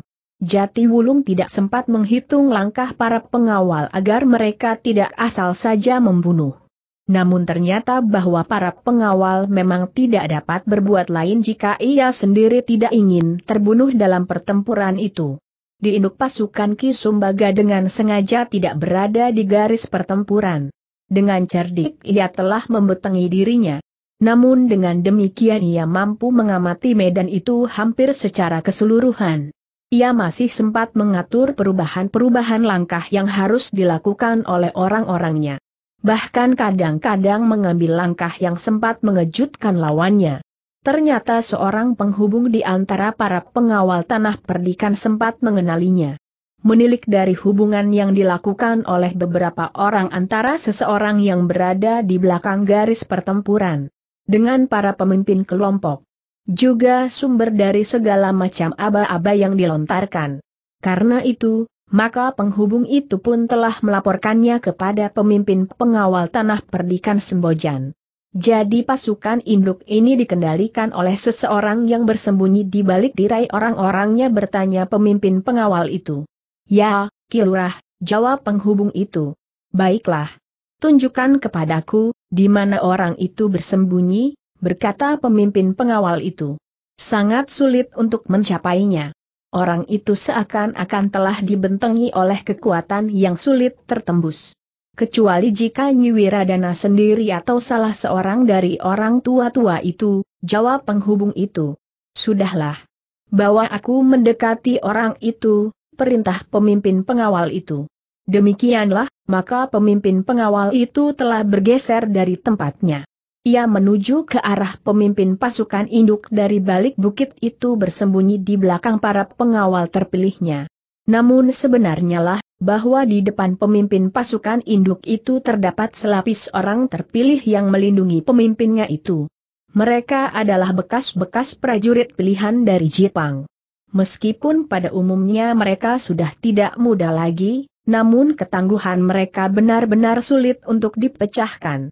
Bagaimana kau mengetahui tentang pemimpin pasukan itu bertanya pemimpin pengawal itu?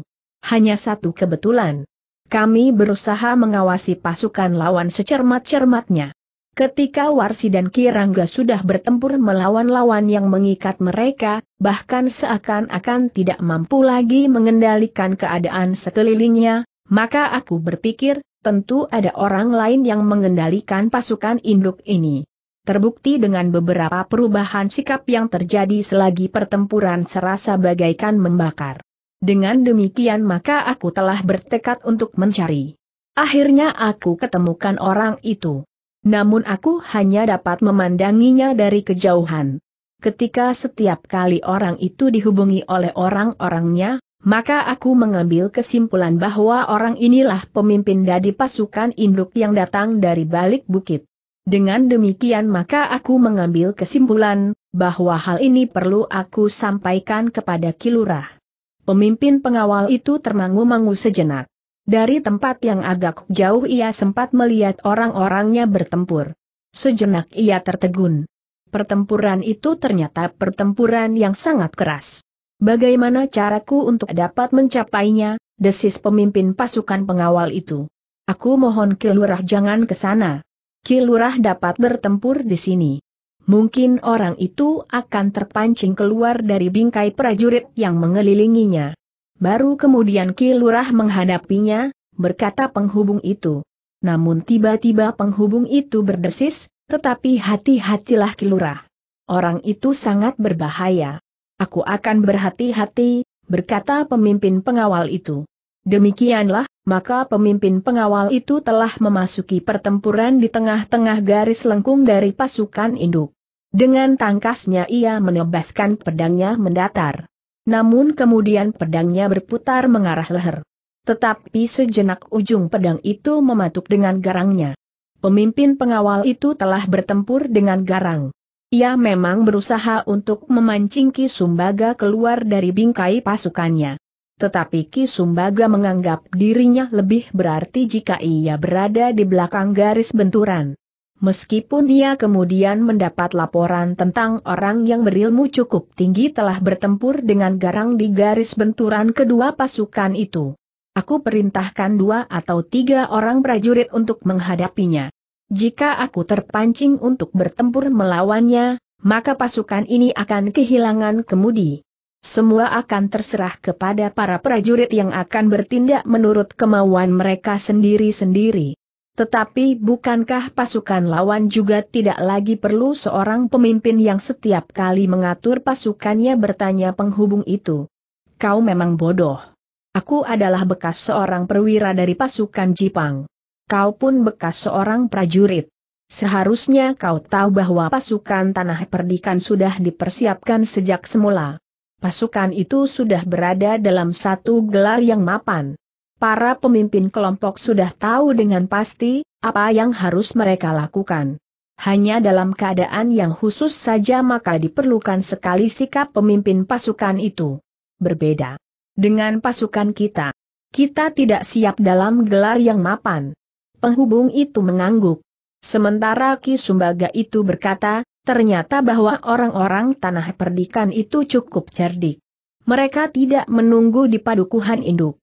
Tetapi mereka telah menyongsong kita di sini, sehingga mereka dapat mempergunakan kekuatan yang lebih besar dari yang dapat mereka pergunakan di padukuhan induk.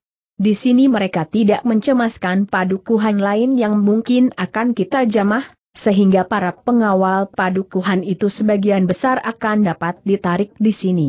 Penghubung itu mengangguk-angguk. Sementara itu Ki Sumbaga tengah memperhatikan pertempuran yang terjadi di induk pasukan itu.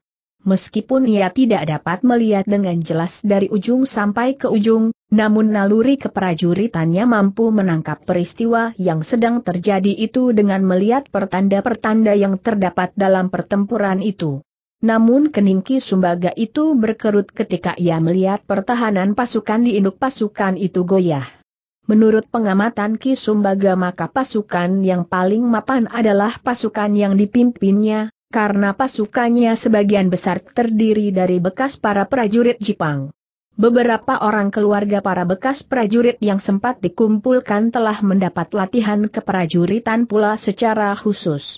Tiba-tiba saja Ki Sumbaga itu berkata, jalankan perintahku dua atau tiga orang terpilih agar menghadapi pemimpin pasukan induk tanah perdikan itu. Kemudian lihat, apa yang terjadi atas Kirangga dan Nyi Wiradana.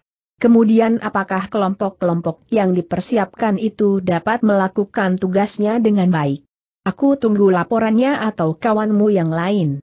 Baik, jawab penghubung itu. Demikianlah maka penghubung itu telah meninggalkan Ki Sumbaga untuk menyaksikan keadaan seluruh pasukan induk itu lebih cermat lagi. Namun dalam pada itu, Ki Sumbaga memang menjadi cemas bahwa garis benturan kedua pasukan itu telah menjadi goyah. Perlahan-lahan pasukan Tanah Perdikan mulai mendesak pasukannya. Meskipun banyak kemungkinan masih dapat terjadi, tetapi satu pertanda telah dilihatnya, bahwa keseimbangan pasukan itu memang mulai goncang. Beberapa saat kemudian, maka seorang penghubung yang lain telah datang mendekatinya. Dengan nafas terengah-engah ia berkata, Ki Sumbaga, kita agaknya mengalami kesulitan. Apakah Ni Iwiradana tidak segera dapat mengalahkan lawannya? Bagaimana dengan Kirangga? Segera Ki Sumbaga akan mendapat laporan. Seorang kawan sedang pergi untuk melihat mereka. Aku bertemu di tengah-tengah medan, jawab penghubung. Kau sendiri dari mana Beir tanya Ki Sumaga. Aku sempat menyaksikan orang-orang tua tanah. Perdikan.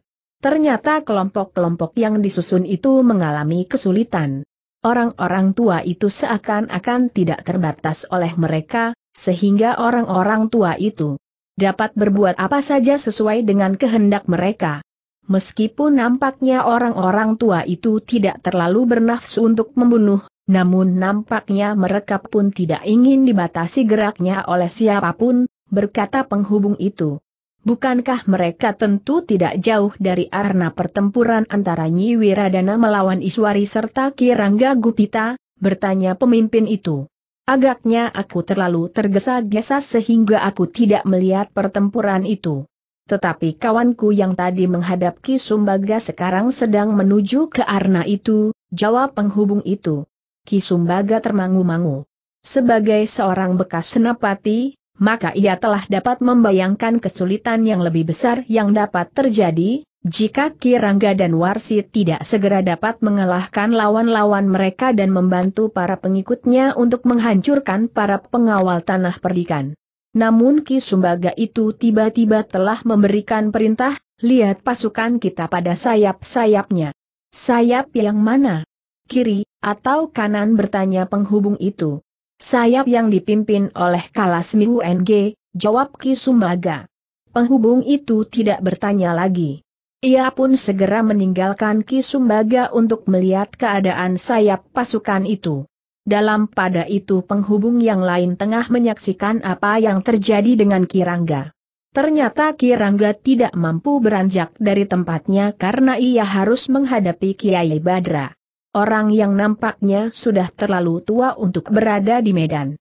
Tetapi ternyata bahwa Kirangga tidak terlalu banyak mendapat kesempatan melawannya.